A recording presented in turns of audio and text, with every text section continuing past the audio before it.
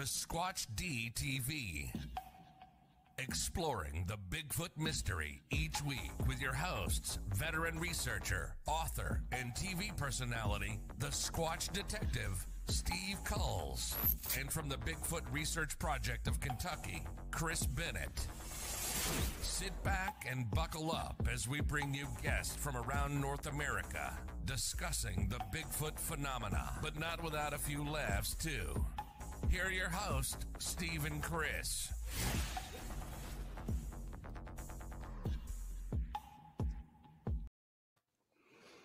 And good evening, cyberspace. Welcome to Squatch DTV for today's date, May 9th, 2021.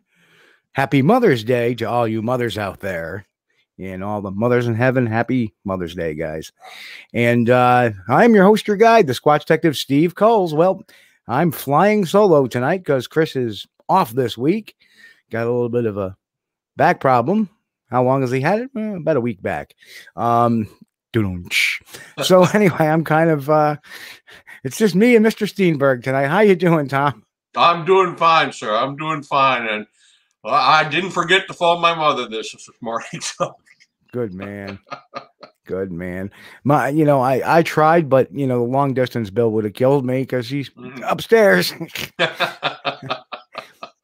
um. Anyway, like, uh, as we we normally do, let's do the shout outs for this week. I see B Lynn in our chat room. Hello, B. Hello, eyes see an enigma. He's back again. Welcome back. Um. Good to see you, Ammon Chris. Hello, Ammon. Good to see you. John Swan, good to see you, my brother. Aaron Mollenkamp, Camp, good to see you. We got the Western New York Bigfoot Organization. Ah, there he is. Uh, he said he tried to get in early, so he wasn't in the nosebleed seats. So, and of course, we got Christy London. And hello, we're uh, we were trying to get Mike to come on. I think he's having a little transmission issues. And Mike was going to be the backup co-host tonight, and uh, nope. And of course, we got a uh, here's new uh, Arthur. Welcome, Arthur. Lockbeard, welcome to the show. Good to see you. I know you. I, I think we saw you over at uh, Squatch Talk a couple of weeks ago. Welcome to Squatch DTV. Kenneth Collins, welcome, Ken. It's been a been a bit. Glad to see you back. Uh, who else? Oh, Brian and Chewy go hiking. Hello, Brian. Good to see you. Uh, Frank Smith from the UK. Hello, Frank. Good to see you. I hope things are okay over the pond, and hope you guys are getting through your COVID dilemma soon. Bob Lemley is in the house. There he is. Hello, Bob. Jimmy Trick. Good to see you, sir.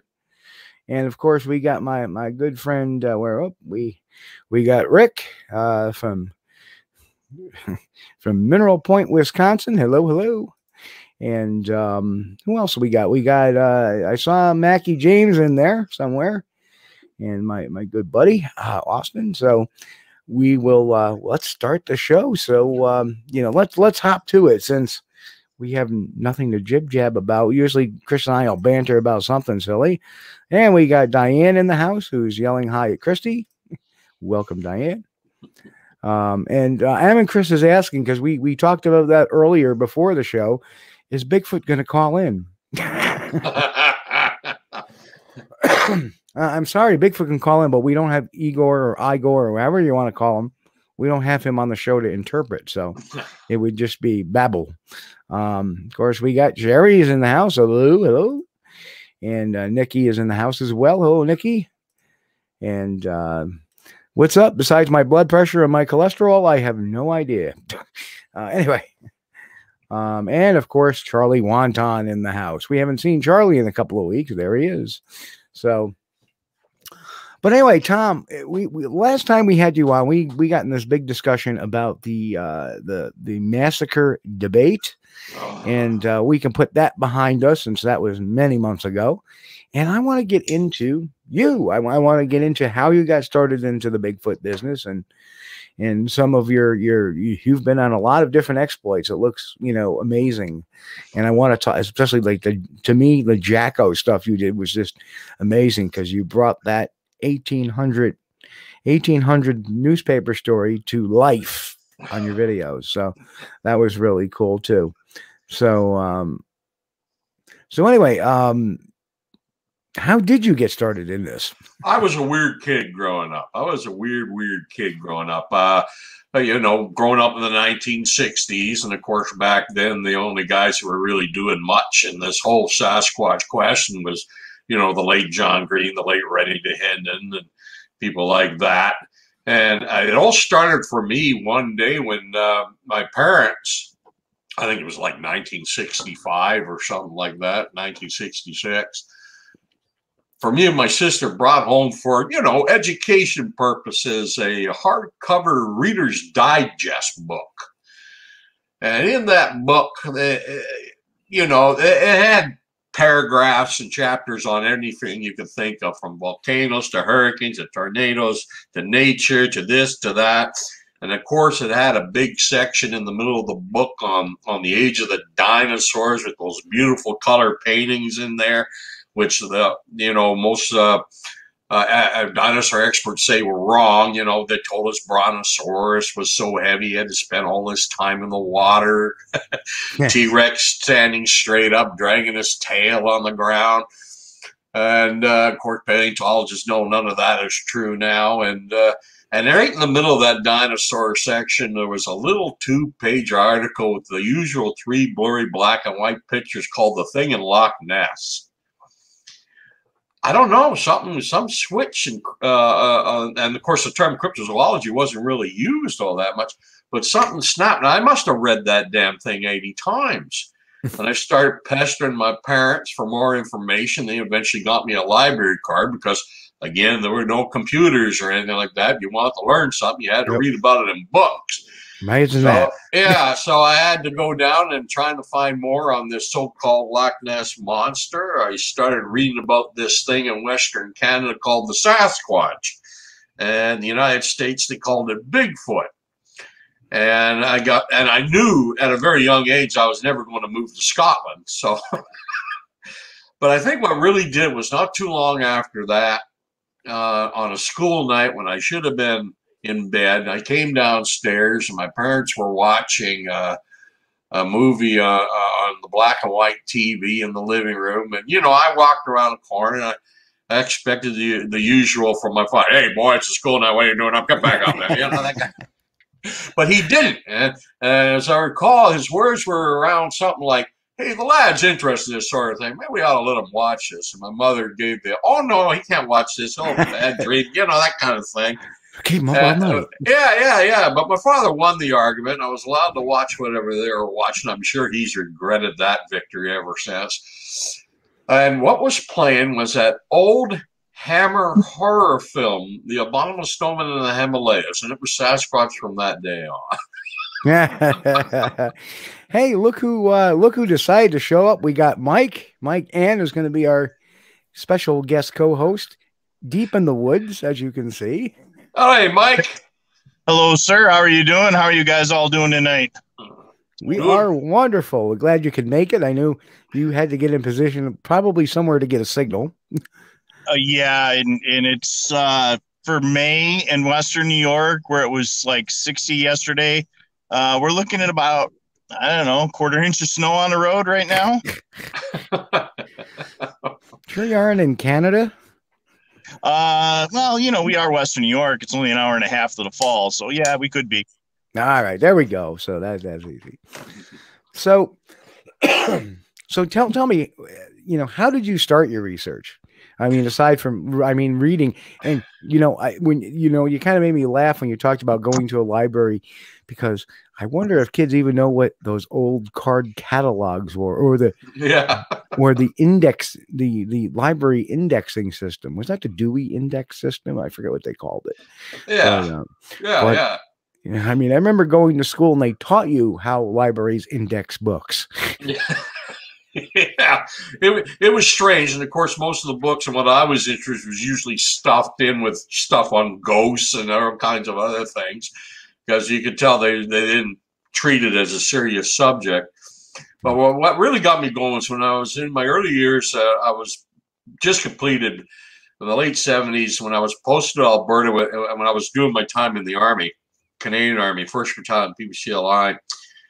I saw the Rocky Mountains for the first time in my life one morning coming out of the base because we got bussed in to tour the Regimental Museum, and uh, and uh, I looked at them and it looked like a phony. It was a beautiful, clear winter's day, and they have what they call a Chinook, where the it was perfectly clear, and the Rocky Mountains were right there before me. I had never seen them before in my life, and it looked like a phony Hollywood backdrop. You know, it was that clear. I must have stood there for like 20 minutes just staring at them. And I thought, and I made two decisions. I said, one, I'm never going to live anywhere east of this line uh, ever again. And two, if they've been seen in Western British Columbia or in Eastern British Columbia, they have to be seen here too. So what I did is I I took out an ad in the Southern Alberta Press at the time. And the ad was quite simple. Sasquatch, anyone who believes they've had a sight of this creature, please contact Thomas Steenburg with the phone number. And I never really expected much of a result. But I tell you, my phone was almost ringing on a daily basis. Yeah, and this wasn't too far from the old dairy farm where Rennie Dahinden got his start 20 years before me. You know, right in the uh, right in that beautiful view of the Rocky Mountains in Calgary, uh, west of Calgary, Alberta. Uh, and I got contacted by the late Professor Vladimir Markotic, if you remember that name. I do not. I Yeah, he was a he was a professor of anthropology and archaeology at the University of Calgary, and he he co-authored and put together that book with the late Grover Krantz, Sasquatch and Other Unknown Hominids. Okay. right, and that's true. And, and Vladimir, I mean, introduced, and Vladimir was a senior citizen even back then, and he couldn't get around much anymore. So basically, we we kind of became unofficial partners. He did the academic stuff, and I went out and did the, the field investigations, and we, we co-opted. And uh, he wrote the forward for for my first book, which came out in '89, The Sasquatch in Alberta.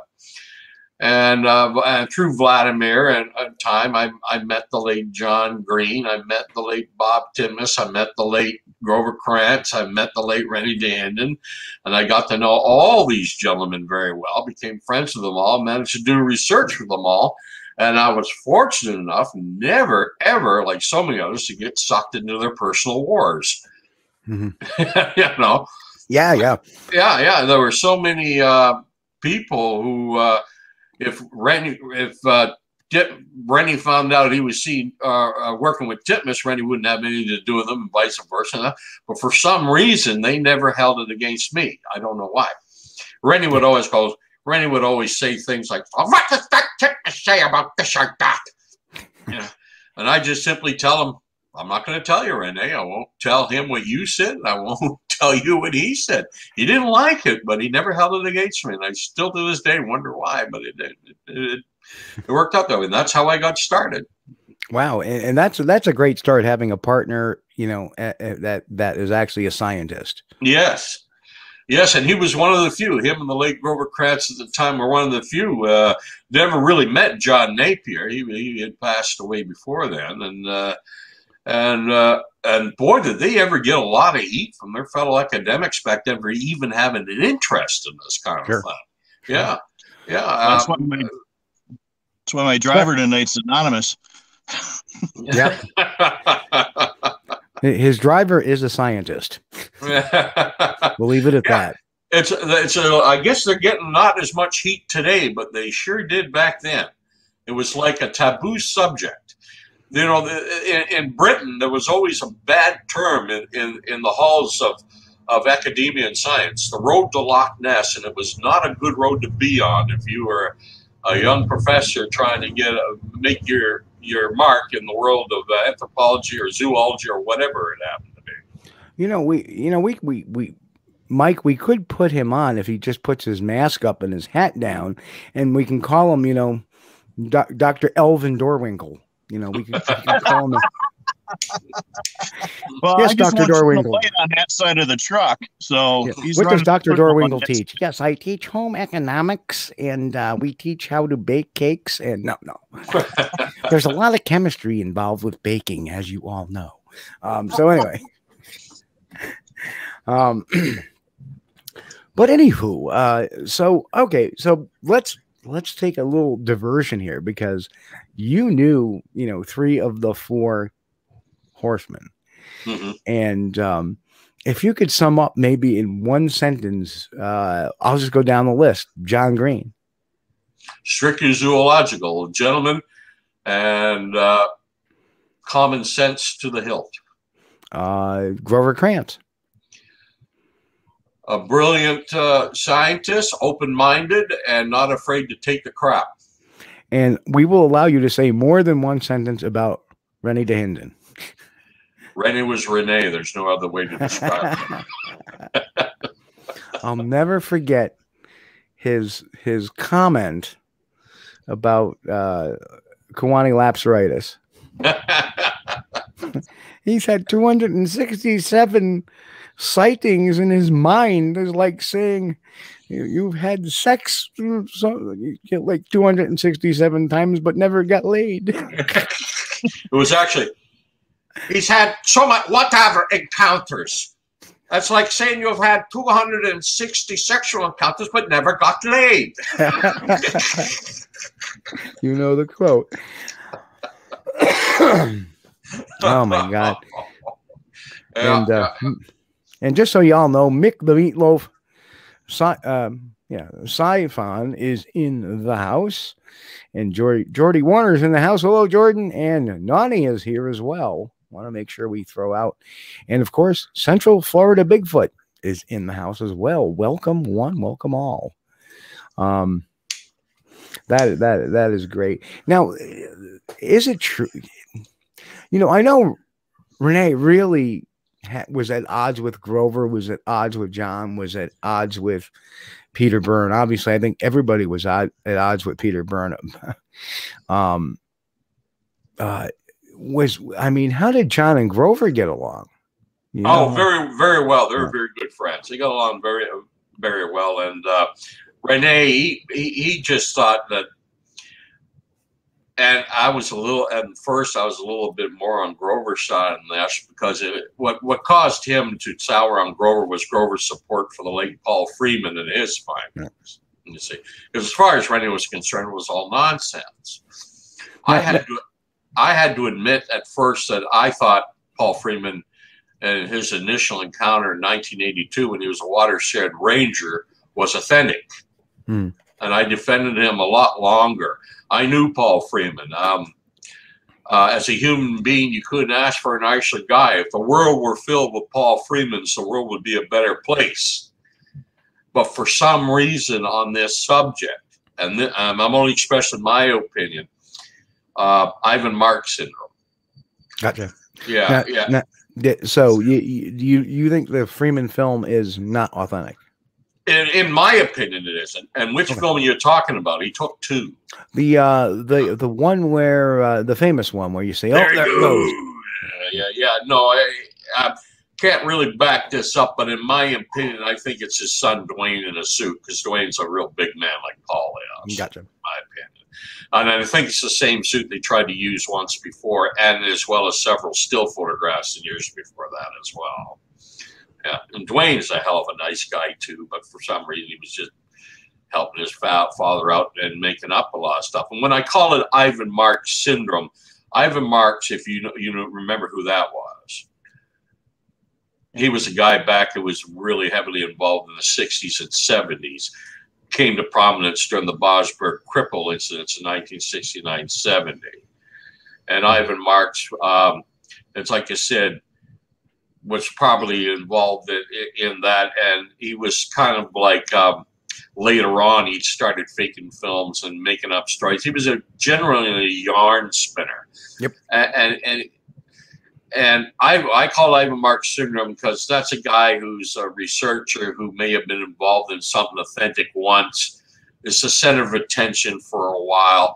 And when that attention dies down, uh, the attention apparently was more important than the subject. So they start making stuff up to remain the center of attention. And it works until they get caught. Yep, yep. Yeah. Now, now, see, I always, I always had an air of suspicion about the Bossburg track Yeah. because it was Ivan Marks that found it.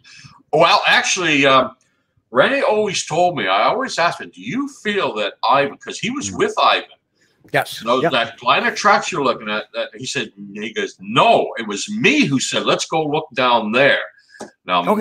maybe, maybe I just picked the right way and he had it up. I don't know, but he said, I found them.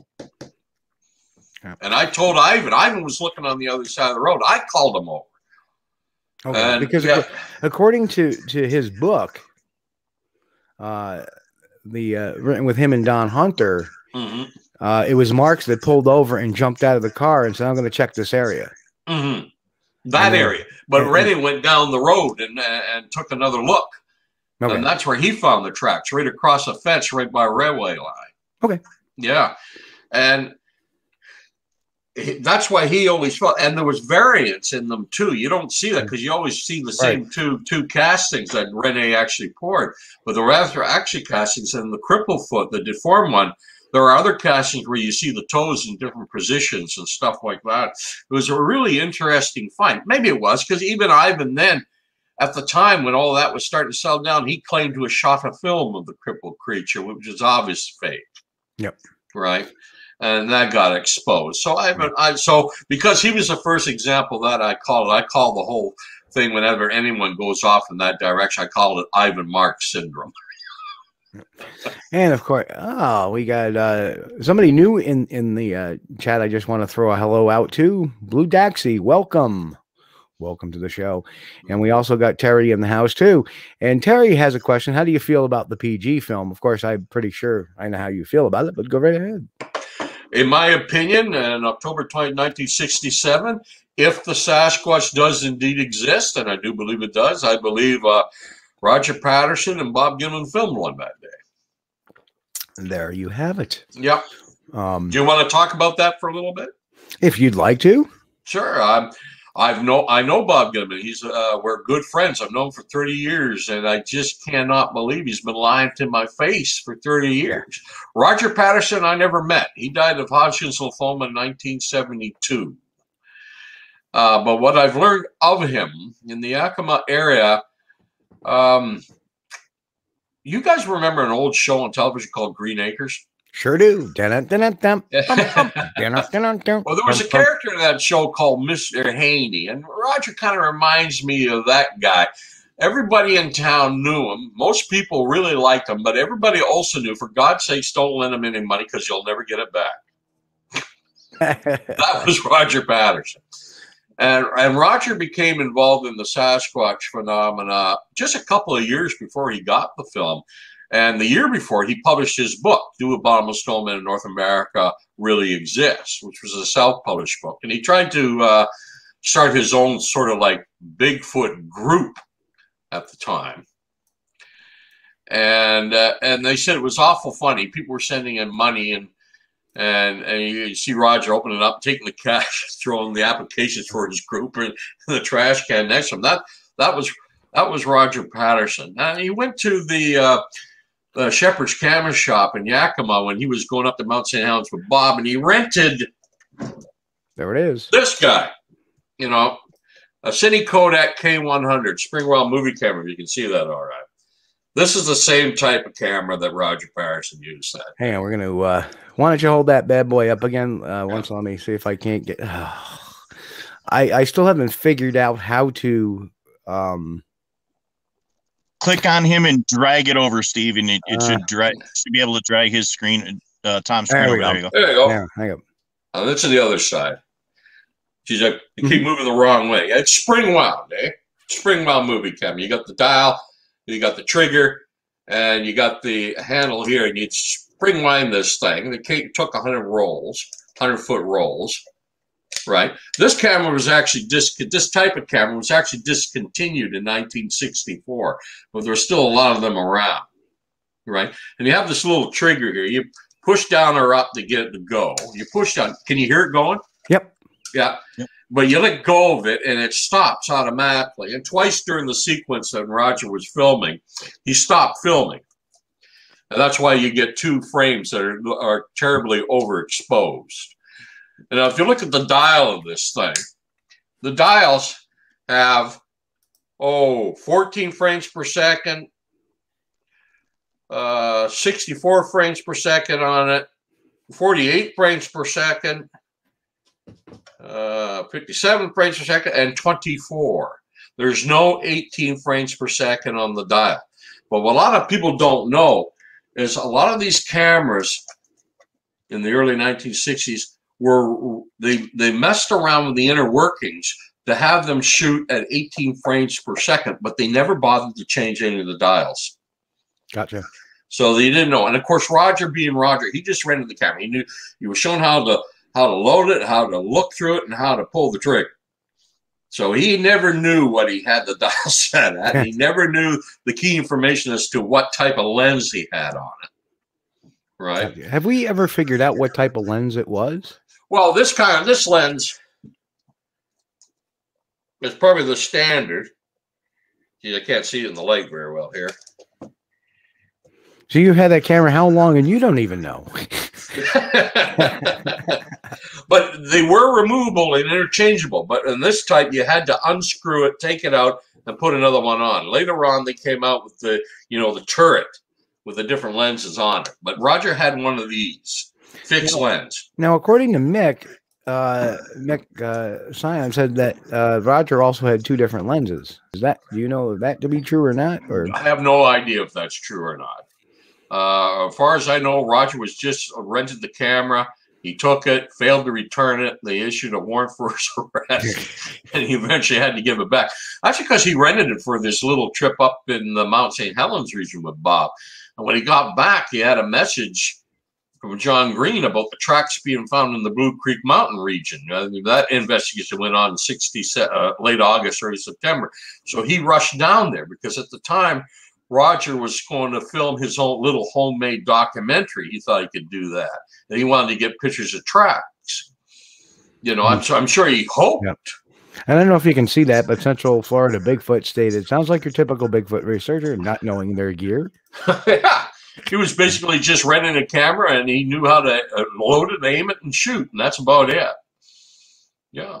And that, and that morning, they went off going back to an area they'd already been through three times before. Roger always felt that, uh, and and Bob, they always felt that maybe the sound of the creek had muffled their approach, and that's why they were able to surprise her. I'm not sure if I agree with that. I think maybe that Patty was probably watching them approach, and she only reacted because the horses did. The horses panicked, and she knew she had been spotted, and she did what they do 98% of the time. She walked away. The only difference between this and so many other times before is Roger, being a rodeo rider, was able to maintain control a little bit when the horse almost bucked him off, and he was able to grab. There's a story, and one time even Roger said the horse fell on him, bending a stirrup, but according to Bob, he said no. Uh, I didn't see that happen. Roger managed to get off the horse and he grabbed the, the camera out of the saddlebag and started filming. So those first frames, uh, you see, and they're jumping. Roger's filming as he's running, and he goes down. And because he was such a short man, he was only between five two and five three inches tall. He came up on the other side, right by uh, that S stick, and it was it wasn't until he passed that S stick that he uh, got he filmed those famous frames and, and made history. And because he had spent so much of that 100 roll of film shooting each other with the pretty fall colors, there was only 952 frames left. So he just kept shooting until the film ran out. Uh, if I seem a little distracted, I, I have Bill Munns's book. Somebody said that. Yeah, I, I read it too. Uh, yeah. I'm just trying to. Somebody said that he knew the actual lens, um, but uh, yeah, I think this is a very authoritative book on the, the, the minutia of the film itself. Matter of fact, one of the big stumbling blocks, according to Munson, on his whole research in the Patterson film was not being able to determine what lens Roger had on that camera. Right. Yeah. It makes a difference. It really yeah. does. Yeah. Yeah, it really makes a difference. And of course, she left a great set of tracks. And Roger being Roger, after she uh, after the creature was gone, he cast what he thought were the two clearest ones close to where, where they first encountered her, right down by the creek. And I got them here. These. Yep.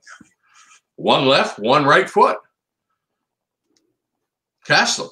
And it was Bob Titmus who went down there nine days later and cast 10 more prints in succession in a row. And uh, while we're on it, he is known as sometimes the fifth horseman. well, according to John, he should have been one of the four horsemen. He should be there, and Peter should not. Uh, was uh, now now while we're on that topic, you know, what was your impression of Bob Titmus? And Bob Titmus was a a, a straightforward guy, and he uh, was basically he shunned publicity, and he just was interested in following up on on this and became obsessed with it and uh, he managed to get the uh, late Texas millionaire Tom Slick to finance him in what was called the British Columbia expedition, and up halfway up the coast of British Columbia, and that's where he, he did most of his research until uh, Slick died and the money ran out. Yep. Yeah. That was yeah. very unfortunate that. You know, right. And Rene and Titmus couldn't stand each other. No. oh, you know. Rene, it sounds like to me, was like the ultimate character. He probably didn't like too many people, especially if you disagreed with him. Oh, well, Rene was very territorial. He, um, uh, to him, everyone was just some guy coming in to mess in on his on his business. Right. You know, uh, but for, he never seemed to be ang- angry at me. But what he said to, about me to other people when I wasn't around, I have no idea. But Rene was Rene. There's no other way to describe him. I loved the guy. We were good sure. friends. I love the guy, and I like to say he loved me sometimes. Except he wanted to believe that Freeman. well, Rene is the one that changed my mind about right. Paul Freeman. Go talk to Odd and go talk to this guy, go talk to that guy. And I did. And I have to admit, he had a point. Yeah. You know. Uh, question from the chat from Quickwitty. Hello, Quickwitty. Welcome again, sir. Uh, was Patterson trustworthy? Uh, in a lot of people's opinion, and especially Rene, Rene used to refer, refer to Rogers that little bullshit artist. uh, and uh, Patterson was uh, it, uh, was uh, and Rene, in fact, wanted to just prove it. That's why he was so interested in the whole whole thing. He wanted to disprove. He wanted to prove that Roger Patterson had pulled this off somehow. But he couldn't do it. And he said, What's important is what's on the film. And he said, I don't care if Jack the Ripper was holding the camera. The point is what is on that film. You know. That sounds like that. That sounds like Renee in a nutshell. Yeah, yeah. yeah. Yeah, but it's like I said, Roger. Roger, what I've known and learned of him, he was like Mr. Haney in the Yakima. Everybody knew him. Most people like him, but everybody also knew don't lend him any money because the odds are you'll never get it back. Yep. Yeah. Now, is it true? I, have heard this in, in, in, pieces. Is that towards the end of his life, uh, Rene kind of not believed or started to have doubts about the Patterson film. Rennie had had doubts, serious doubts about the whole thing. Gotcha. You know, because he he had never seen anything, never come across anything. He saw footprints. You know, Hmm. and he was really beginning to have doubts the whole thing. But Renee um, was went through a very hard time at the end of his life, and uh, he was basically mad at everything and everybody. So uh, yeah, and uh, uh, it was it was sad the way it happened, but um, Right. you know, even I, I mean, Renee wanted me um, wanted me to buy his green camper truck, the Green Hornet, and um, I made arrangement just before he passed to do so. And I flew. I was still in Alberta at the time, and I flew to uh, Richmond to attend his memorial service. Uh, it was well attended by a lot of people, you know, and. Uh, it was a sad day, and uh, we were kind of joking because there had been a thunderstorm through that area early in the morning. It was uh, in the distance, and uh, and uh, we said, "Well, it looks like that thunderstorm has passed." And I think it was Larry Lund that said, "No, that's not a thunderstorm. That's raining at the gates of heaven. God just told him there is no Sasquatch. He's lying. He's arguing with him." but I went back there a week later, and uh, uh, to talk with Eric because Eric was sorting Rennie's son was sorting out his estate, and to get the Green Hornet back, uh, ready to drive all the way to Calgary. And uh, well, it, it, you see this truck. It was a beautiful little camper on wheels, but oh my God, duct tape this. Why was that? It was, he had redone it. It was it was a it was like a homemade truck. and there was a good chance it wasn't going to pass the out of province inspection, and that was the deal breaker eventually that killed it. But uh, we needed new cables for the batteries, which for some reason the battery was not in the engine compartment, it was behind the driver's seat. and, and we went there. I went down there with Eric and uh, to the Canadian Tire, and Eric himself, you know, great guy. Uh, uh, country boy Canada. You, you you're in this pickup truck. You're up to your ankles in discarded Big Mac wrappers and and shake milkshake containers and stuff. And he, I said, my God, Eric, you got to empty this truck out because uh, you can't see your floor. And said, Yeah, I know. I tell you what, we're right beside the garbage cans there. Uh, do me a favor, throw this stuff out, and I'll go in and get the cables. And I did. And I was throwing arms and this stuff in the garbage for him. And right there in that little, you know, that little lump where the gearbox is, the gear shift is where the drivetrain goes through, there was a little black shoe, half shoe box. And I picked that shoe box up and oh my god, this is nothing, this is dirt. And I had that thing right over right over the garbage can. And I noticed these little white flecks. I thought, oh, I better not. These may be seeds or something. And I had and Eric came back and I said, I said, "Oh wow, great job! I can see my floor for the first time." said, Eric, what's in that little shoe box there? You know, I almost threw it out. And he turned white as a ghost. He said, "That's Dad." Oh,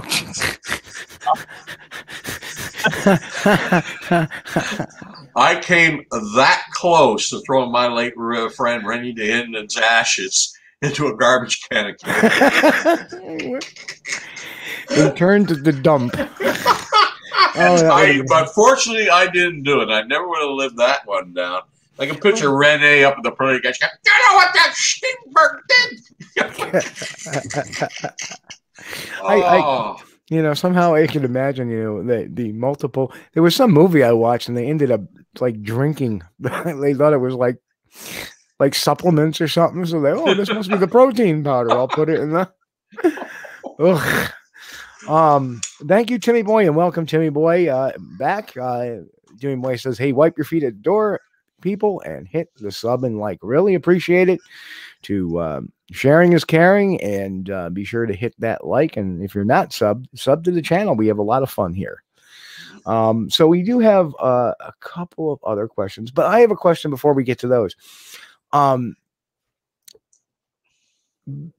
the, one of the things I noticed that caused dissension between, I believe, John Green, Roger Patterson, and I believe it was uh, Renee, was the Frank Curlow incident. People don't know the Frank Curlow incident.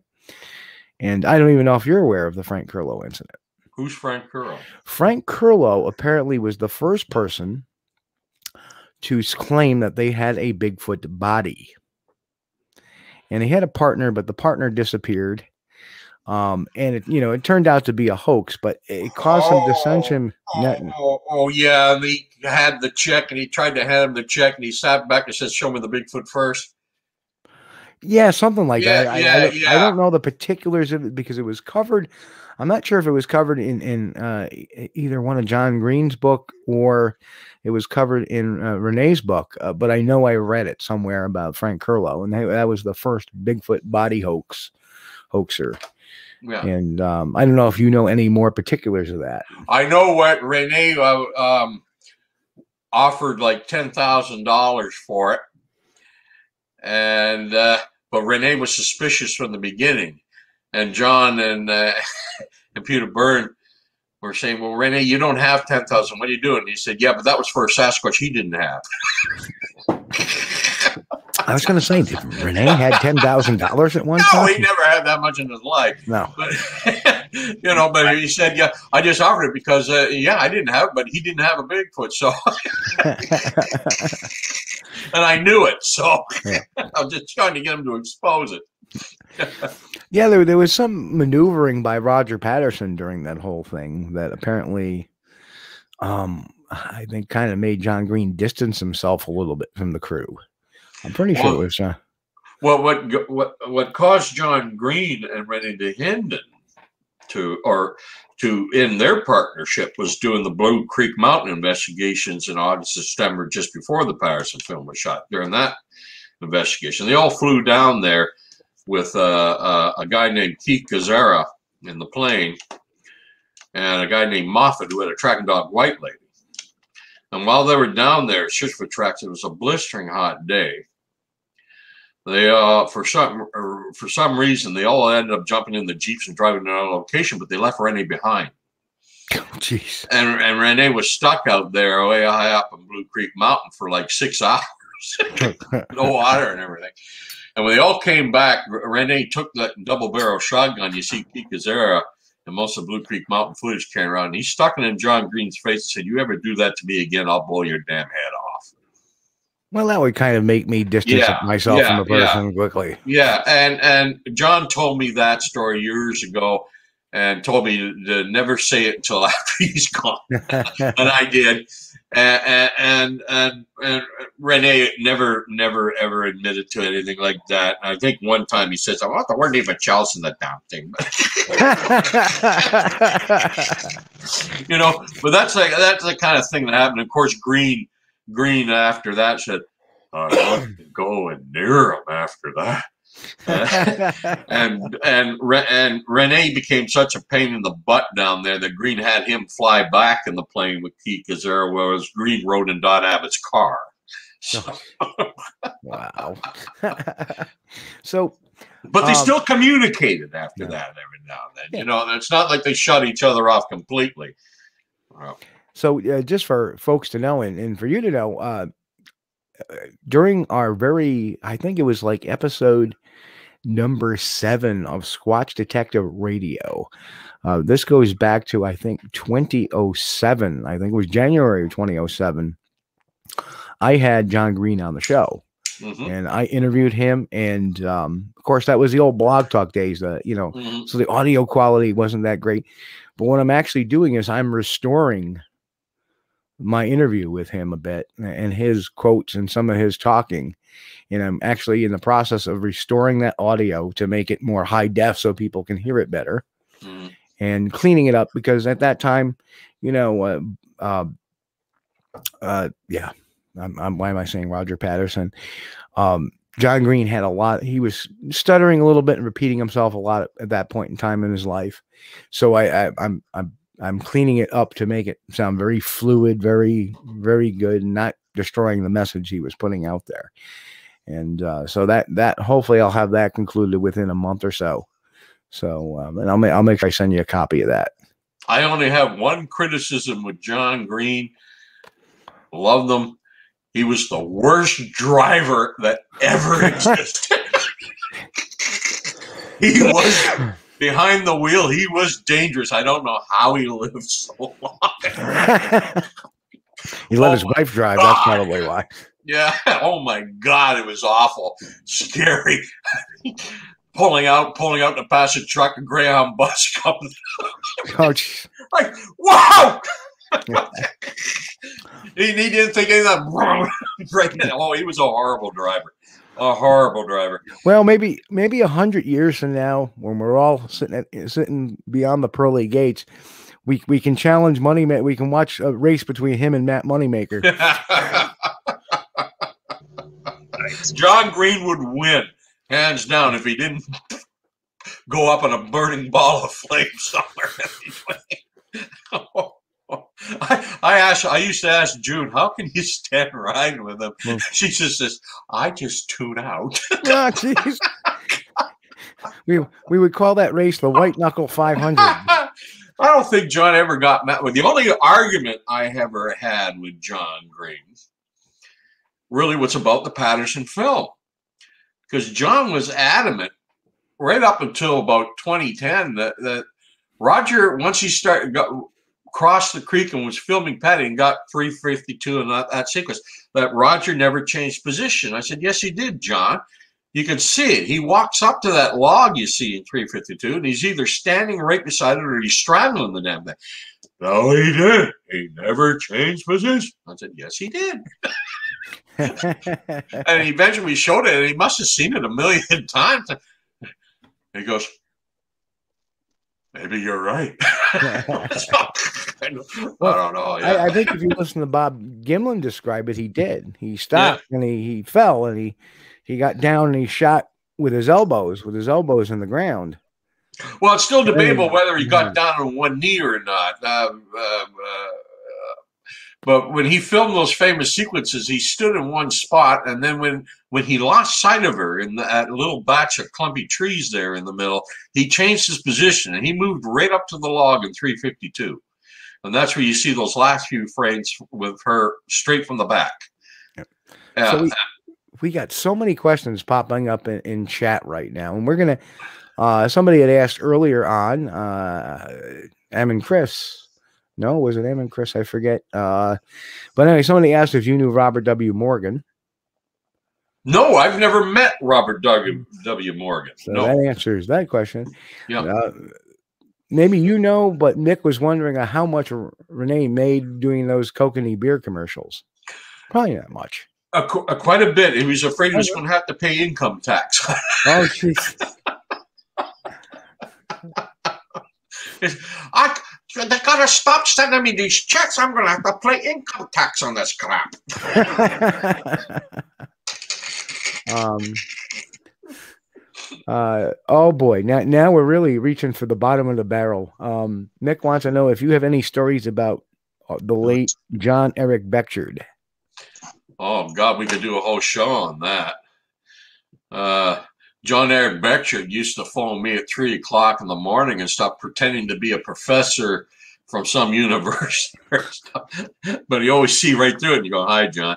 How do you know it was me?" And I said, "It's always you." Beckjord was, um, I like to say the Sasquatch field today more resembled an asylum but being taken over by the inmates.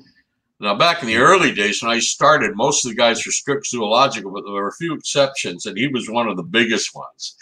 And he used to show up at the conferences wearing an ET mask and dancing around. And he'd create quite a disturbance. And he'd end up always end up getting kicked out. And then he'd be marching up and down the outside, passing out pamphlets of how they were throwing him out because they were afraid to know the truth and stuff like that. Eric Becher was quite a character, a nice guy, but he was absolutely hard playing nuts. right. Yeah. Yeah, and, a very super intelligent guy too. Yes. Yes, but he was crazy. Yep. Yep. Uh, you know, so I don't know if he was crazy or crazy like a fox. Know, he was crazy. I remember one story when the conference in uh, in the University of British Columbia, uh, we're all staying at the because you hold know. on, hold on, stop. They actually let him into Canada. Oh yeah. Mistake Oh, yeah. number one. Yeah, yeah, yeah, yeah. yeah and uh, you, you always see him. He always had that pink tie, and he was always carrying a great big brown paper uh, like shopping bag and stuff in it. I go. and of course the the theater where the conference is is on the other side of campus. I see him standing there, and I'm driving by my old Land Rover, and I, I kind of look the other way as I'm going by, pretend I don't see him. And I swear I got half a kilometer down the road, and all of a sudden I hear wham, wham, wham. I stopped my truck. I looked at the passenger side rear view mirror. There he is, running beside my truck, banging on it. Oh, jeez. Okay, John, I'll give you a ride. so everybody waited for literally, him he making literally it. chased me halfway across the campus to get a ride. You're halfway there. You can run the rest of the way. Uh, I guess it was possible because the speed limit there is only like 10 kilometers an hour, and I always obeyed the speed limit. My mistake that day. Gun he's running after us. Yeah, yeah.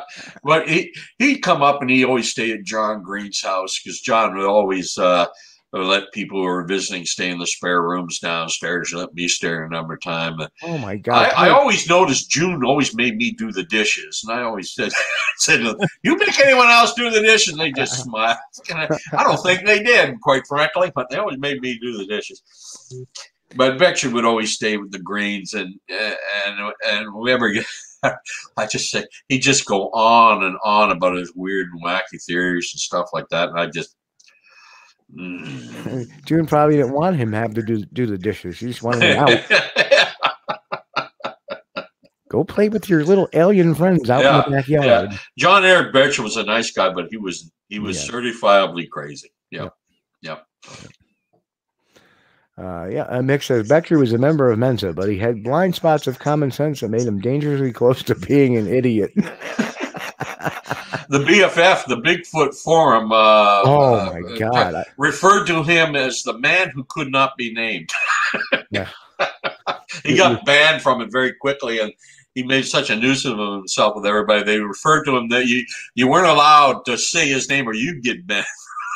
that's- You you couldn't Beetlejuice him, huh? You couldn't say his name three times or he'd show up. yeah, say, say Becker three times and he'll show up. yeah. And, and you know what? I'm afraid to say that now because he's gone. And if I say his name three times, he might his ghost may show up. I wish the ghost of one of them would come back and just tell me, is the Sasquatch really there or am I wasting my time? Well, I think the ghost of Becker would probably come back and tell you it's an alien from another planet. Or, or Or- came from the fourth dimension. you know? Yep. Or, or like Kewaunee, you know, you just go up the top of Mount Breckenridge and fill your life, uh, mind with love thoughts, and he'll come and talk to you. Now, Kewaunee was really the first one to start that all up, wasn't he? I'm not sure if he was the first. He's one of the few that are still going. Again, a real nice guy. A Yes, real nice yes, guy, but he's but he's he's a, a fun guy to talk to, but he is a hippie that never grew up. I mean, he seems At least in my opinion. to me, you know, even Becker, even though he had all these crazy ideas, you know, unless you tangled with him and, and, and whatever, he was for the most part harmless. Yes, he had a lot of internet. Oh yeah, he was he was irritating for being so silly. Yeah. you know, and that's it. But he never he was never uh, dangerous or anything like that. And um, yes, uh, quick witty, we're going to get to your questions in a second. We're we're gonna. I, I haven't lost it. um, yeah. Um, you know, but then you look at people like Dr. Matt Johnson that are doing stuff that you know because of the, the the atmosphere he's creating. I think he's creating his own cult. Well, Dr. Matthew Johnson came prominent when he so-called had that encounter with his family. And it's funny because I have a video. Uh, I forget what year it was. It had to be in the early '90s um, of you, and then a little while later, Matt Johnson comes on to talk and talks Yeah, about this. That was a, remake. Yeah, uh, that was a remake. They tried to remake um, uh, one of the Leonard Nimoy series from the seventies. Um, Unso- what was it called? Unsolved Mysteries. No, No, uh, uh, in search of. In search of. In search of. And they tried to re- reboot it. And the host of the show was the guy who played Agent um, uh, Skinner in the X Files. And uh, I was pretty upset because they edited it and made me sound like I was saying something completely opposite of what I was saying. And Ma- Matthew, I almost get the impression at the time that Johnson was first became prominent after his so-called encounter with his family. At the time in the UFO field, there was a guy writing books called Communion and things like that, and he was sort of a psychiatrist who uh, uh, wanted to deal with so-called alien abductees. And it almost sounded to me like Dr. Matthew Johnson was trying to set himself up like like that to be a sort of someone that people who have encounters with Sasquatch could talk to, and that's what he was trying to do. Yeah, at least at first. Right. Right. Yeah. Um, what was I going to ask? Uh, well, anyway, let's get to Quick Witty's question. Um, uh, what do you think of how to hunt? Uh, and uh, Bigfoot Odyssey and other Bigfoot business tactics. I, I Uh, how to hunt? Um, uh, s- w- is Steve Isdahl. Steve. Yeah, Asdall. Uh, I don't have any time for because when, he Yeah. when he first got involved, he said things about uh, John Green and Meldrum and uh, yeah. everybody, and he even tried to accuse John Green's father, trying to, you know, exterminate the Japanese Canadians during the war and things like that, which was absolute nonsense. And then he accused them all. John Green, late Randy, tried to compare him to Hollywood producers who abuse women and all that stuff. Right. So I got no time for anything that guy says. He's a And guy. he's a guy who had a hunting uh, uh, uh, guide, grizzly guide. That when they banned the the grizzly hunt in BC, he had to find something else to make his uh, to pay. And he's got he got involved in the Sasquatch, and I think he's just trying to uh, make his site pay because all he does is read emails. Right. Yeah. And I, I, in, in front of these beautiful things that could be a backdrop. when you were talking about the Rocky Mountains, I, I kind of, Mm-hmm. yeah. I kind of. Well, he does live up in the Whistler area, and all you have to do is go out anywhere, and you got beautiful scenery all around you. Yeah, So he could be, he could be doing it right out of his backyard. yeah. Um. but he does go out into the woods. He does. He was a he was a bear hunting guide for years, and and and a hunting guide for years. And that and that income has been taken away from him. And I think this is just one of the things. But he's arrogant as you wouldn't believe. You know, at least that's my impression of him. And I think he got involved with uh, guys who are pushing the uh, massacre nonsense and he's the, the latest one who brought all that up again. That's when we had your, I was on your show uh, a year or so ago when you had to hold my the cell phone up in front of your mic. we were talking about. yeah. Yeah, it was him that got all that going, got people talking about that nonsense all over again. So no, um, how to hunt? Nah, he's just a, another guy who's, and I'm only expressing my opinion, uh, tooting his own horn, trying to be, uh, you know, famous without doing the work. And being very abrasive about it. And, Yeah, yeah, and the funny thing about that is, um, he has not only had issues like that now in the Bigfoot community, but prior to that, he was having similar in the hunting community or the guide community. Well, if you read if you read the the the, the uh, some of the things that were said on the hunting guide pages before he got in Bigfoot, yeah, you're right. he was you know he was called into question about some of his things he was showing and some of his some of his tips.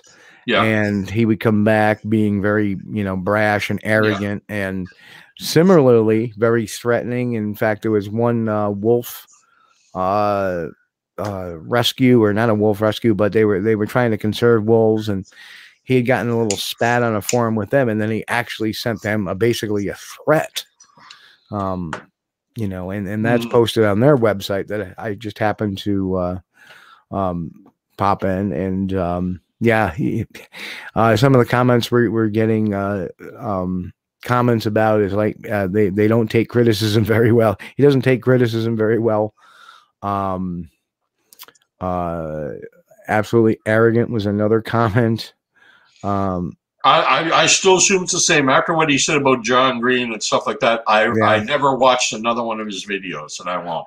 or the or the purposely calling meldrum meldum Yeah, Yeah, eh, stuff like that. I mean, he, you know, uh, Rick Ariolo i- is really tearing him apart on his new uh, new Mhm. series of, of podcasts there, and uh, Mhm.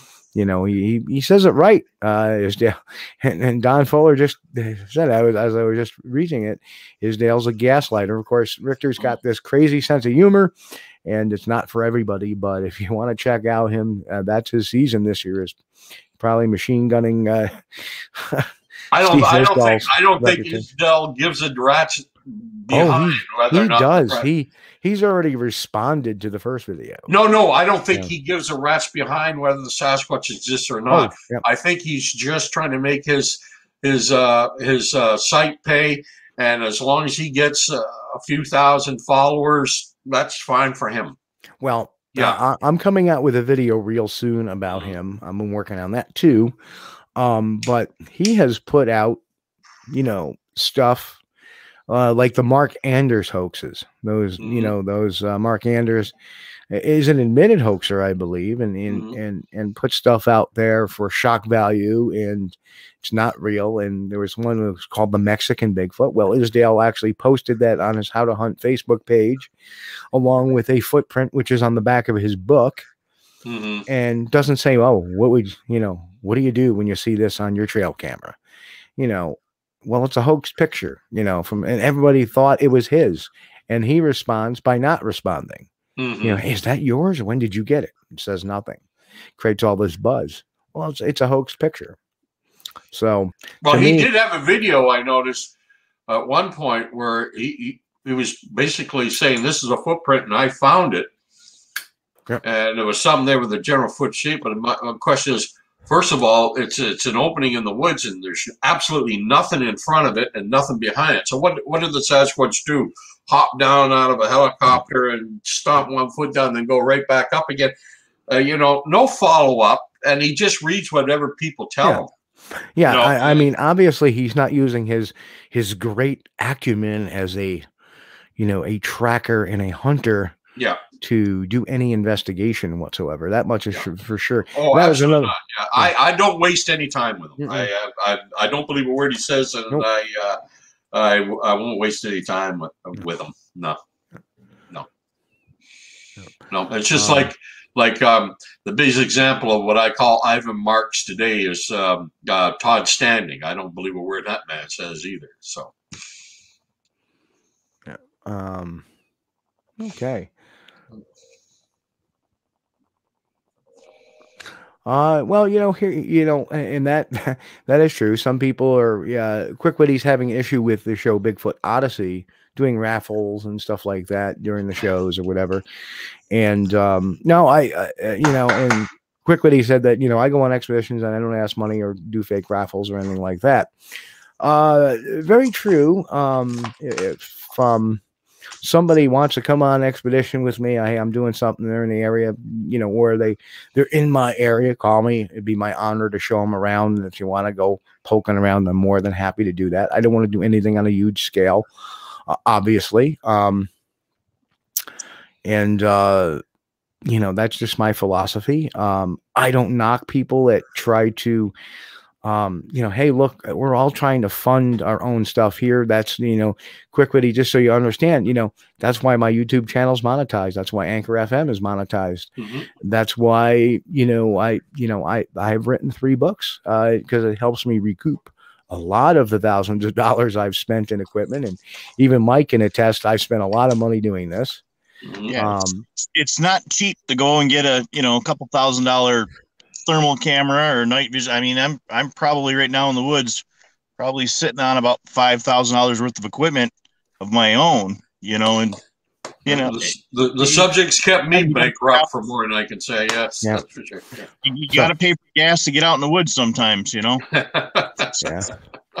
and, And, um, sometimes those raffles have to come out. You know, just to you know, not merely to get your name out there, but more to you know the gear to, to, to put the content out. I mean, And I, I think it would be an appropriate time to do a plug for myself.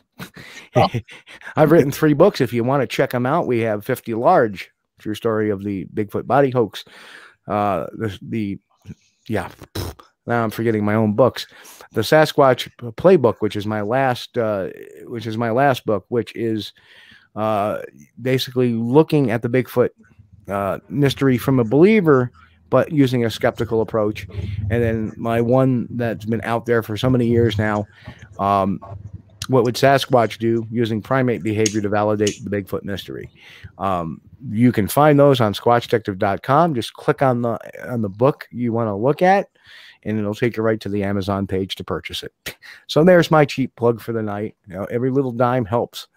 Um, that's why I do it. We are setting a Patreon page up, and we're gonna have some exclusive content for that as well. That's where the John Green uh, interview is going to head to when we're done with it because it takes time to do that and this is just a way quick way i recoup um uh that and quickly he says steve that's that he actually said that's how to properly fund an expedition i agree uh, you know i don't like taking people uh for money just to take them out in the woods that's just not my thing now if i'm providing food uh, like for example the expedition i went on uh, just recently with the Kentucky Bigfoot Research Organization. Excellent expedition. They paid a fee, but their camping was taken care of. They they rented all the camping spots, so their food was taken care of. So they got food. So what their money basically paid for was their food and their camping. And there's a little, and you know, if there's a little extra for the organizer, so be it. Um, that's I, re- I, really have no problem with people trying to find ways of making this pay. I mean, yeah. the late uh, friend of mine, late Bill Miller, just passed away uh, October last. Had a little started a little tour company here called Sasquatch Country Adventures in the Harrison area, where we take three or four people out. But it wasn't really an expedition type thing. It was basically show them areas where things happen and explain the history of it to people who were interested. Yeah, and Bill put all that money into sponsoring trips into the bush to actually look for evidence, and that that was fine. I had no problem. I helped them out with it quite a bit, and uh, we got a lot of positive feedback on it. But that died when uh, that whole thing died when when Bill died because I wasn't interested in carrying on with a tour company and uh, right. Running a tour company. I just I, I want to look for the Sasquatch. I don't want to I want, I want, yeah. I want to be tour guides for people and things and, like that. And, quickly, I have people go out with me all the time, but I do it for free. Yep, so, same here. Yep. Yeah. Same here. Uh, quickly, he says, Odyssey, uh, the first thing they mention is we need to make money for this and we need money for that. No books, no nothing in return. And I, I, I tend to agree with my philosophy. But you know what? Here's the thing nobody is forcing anybody to pay for those things. Mm-hmm. You know, if you want to put $5 into a raffle, then then fine. You know that that you, nobody's being forced to do that. Mm-hmm. I don't ask for any money to watch this podcast. I never will. I I won't make this a member only podcast. You know, I'll get paid the the the, the peanuts that go, that YouTube will throw at me. That's fine. I'm going to have a Patreon page, and again, that's voluntary. If people want to go over there and be a um, a, a, contributor to the show, then they can do it. I'm not forcing them to. I'm not mad. I'm not going to treat anybody any differently if they don't. Um, but you know the the again, I do offer stuff, and I'm a very firm believer generally, and that's why I'm not really pushing the Patreon page at all, is because I don't have that content yet. When I start putting content, exclusive content to that Patreon page, then people are getting something in return you know, and I am a firm believer in, um, I am a very firm believer in, you know, you, you pay some money, you should get something in return. Now, a raffle is kind of, uh, you know, that that's a chance. That's like a lottery. If, if that's what people want to do and they want to, it's no different than going to the store and buying a lottery ticket. Nobody is forcing them to. Yeah, so, absolutely. So, yeah, yeah. you know and, and, it's, it's the same with, with with the people who don't like conferences and and i understand that it's a double-edged sword with conferences because people say well there's the people trying just to push their egos and talk and do all that stuff but i've always found it you know like when I, when I go to conferences and mike and mike's been to a number of them do I ever sit and listen to the speakers? No, I'm out there mingling and talking, mm-hmm. and I have my own table to deal with. But the, that's what I like conferences for is that that camaraderie and meeting people and, and getting to know people and getting the stories and all that kind of stuff. That's the fun bit for me. Yeah. It's um, it's the networking. I mean, my memories came up today from Eric's event from four years ago. You know, came up in the mm-hmm. old Verizon cloud today with everybody. I mean, that's that's the big thing going to those things and, and interacting with everybody. I mean, we're doing it this weekend. You know, next weekend that will be Hmm. out. So, Well, Mike, you're out looking for evidence right now, ain't you? That's why you, you had, had trouble getting here earlier, finding a spot where you can transmit from. yeah, and it, I have never seen golf ball size snowflakes. And send you guys some, some photos later.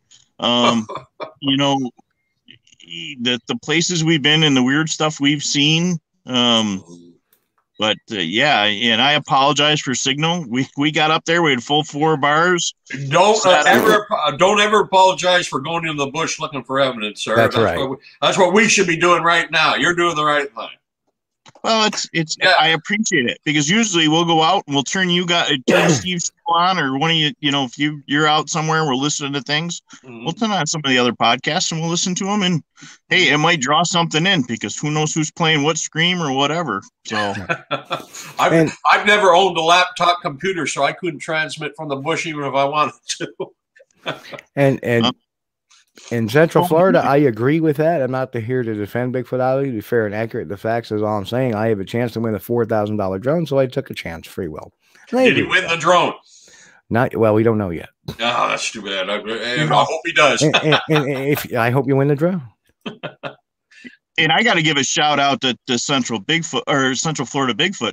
You know, I met him through another podcast in, in through Instagram, and he took me out in the woods, and uh, I got to go out in the swamps in Florida and learn about Florida. So uh, Matt's a cool dude. Um, so I had a guy you know- show up. I, I had a guy show up here. He just wanted me to tell him about some of the more classic cases that are local, like the Ruby Creek and the Jacko capture. I said, "Are you doing anything this afternoon?" He said, "No." I loaded in my car and I took him to the Chapman site and I took him to tunnel number four where Jack got made his year. Yeah. You know, made his year. He wanted to give me. Uh, he tried to hand me a couple of hundred bucks. I said, "No, no, no. I'll tell you what. You can buy dinner." Yep. yeah. I'm I'm like a I'm like another Canadian who charges like three thousand to four thousand dollars to take on an expedition where he's pointing out all these tree breaks Yeah. you know, and, And- and and- has and has Sasquatch gloves in his back seat. Mm. you know, not, mentioning, not, not mentioning any names. Touchdown. That's right. gotcha. Um, yeah. Thom, can I ask what what the the the I don't know what the the most important evidence or the the most striking I guess I want to go most striking evidence that really hit to the core that you found that it really keeps you going. Had to be, and it did keep me going because at the time I was married and I was getting a lot of pressure from my ex-wife to put the Sasquatch in the back burner and concentrate on more important things. Had to be the footprints found along uh, Ballbeard Creek near the Chilliwack River in 1986. Uh, I've written about this quite. Ex- uh, actually, no, I haven't written about this one a lot, but I have written about it. Uh, it was a, a sighting that happened uh, by an American couple who were fishing down here during Expo year 1986. I found the tracks. The witnesses never saw them, and there were there were over a hundred of them. If I hadn't come across that, and I couldn't explain them away, no matter how hard I tried, and if I hadn't come across that and saw that myself and cast a couple of myself, I might have said, okay, a Sasquatch is keep it on the back burner as a hobby to do in your spare time instead of devoting your life to it, which I ended up doing. And um, and that was the that's the most fascinating case of, of personal evidence that I have ever come across. So far, every time I've sent in hair samples and stuff to be examined, they've come back with common animal explanations. Thank Yeah, you. So yeah, Yeah, you, things you know, like that. Yeah. Finding tracks. I mean, and I, and I talk about how I found. I actually heard and smelled what made my track, Yeah. and then to track the one that was right off the trail, and then come back the next day when it's daylight out and Mhm. find the trackway Mhm. going uphill. That really just, you know, I sit there and I think to myself, yeah, you know, if even even though I've had my own sightings, Mhm. I, you know, you still, you always doubt that part, you know, like, Yeah. well, maybe I was just imagining the whole thing. You Yeah. know, you get, always second guess yourself. Maybe Yeah. I was, maybe, you know, But- and- I, but I can't throw those tracks away. Yeah, and and to You and to that- and to answer a sort of a part two to Mike's question, 2004, I may have finally saw one myself. Okay. I might have. I won't say it was because it was just too damn far away. Uh, and I've always had the philosophy stick to the facts, never deviate from the facts. In 2004, I saw a figure. It was jet black in color and it appeared to be walking upright. But I only saw for about four seconds. Hey, But it's also, I couldn't see details. So I can't say with 100% certainty it wasn't a really big, odd looking guy way up there. Well, what he would be doing there, I don't know. If that was a Sasquatch, I have seen one. If it was not, I still have not. And that was in BC. Yes. Yeah. West side of Harrison Lake, uh, uh, just before the, the uh, turn off to Mystery Valley. Yeah. Now, I'm, I'm going to say this, and, and, and please understand this, quickly, is that I, my show is not to trash other shows. Uh, there are a lot of shows on on YouTube. Uh, everybody has their own taste in what they want to watch and what they don't want to watch. Uh, this show is not the cup of tea for everybody, and I'm sure you know uh, all the other shows are you know have the same thing that not every show is a cup of tea for every single person. So No. I try to put what I feel is the best product forward and the most honest and integrity filled product forward. Does that mean that some night I may have a guest on that may be pulling the wool over my eye? Present company excluded, of course, Mr. Steenburg. um, yeah, that may happen. I may get a witness on here someday that may be completely bogus Mhm. happens. We've had, you know, years ago we had Ed Smith on the show. Ed Smith was the Daisy in the Box hoaxer from Mhm. years ago. Mhm. Um, stuff like that happens. Um, does that make me? I mean, like I say, when I put a witness on, I'll ask them questions. It's not my. I'm not investigating them. Mhm. Uh, it's my job to interview them. This is a radio. This is a show. So I, I take a different seat here a lot unless I'm doing something special. So, you know, when I have a witness on, it's about getting their story out and let the audience be the judge of the the material.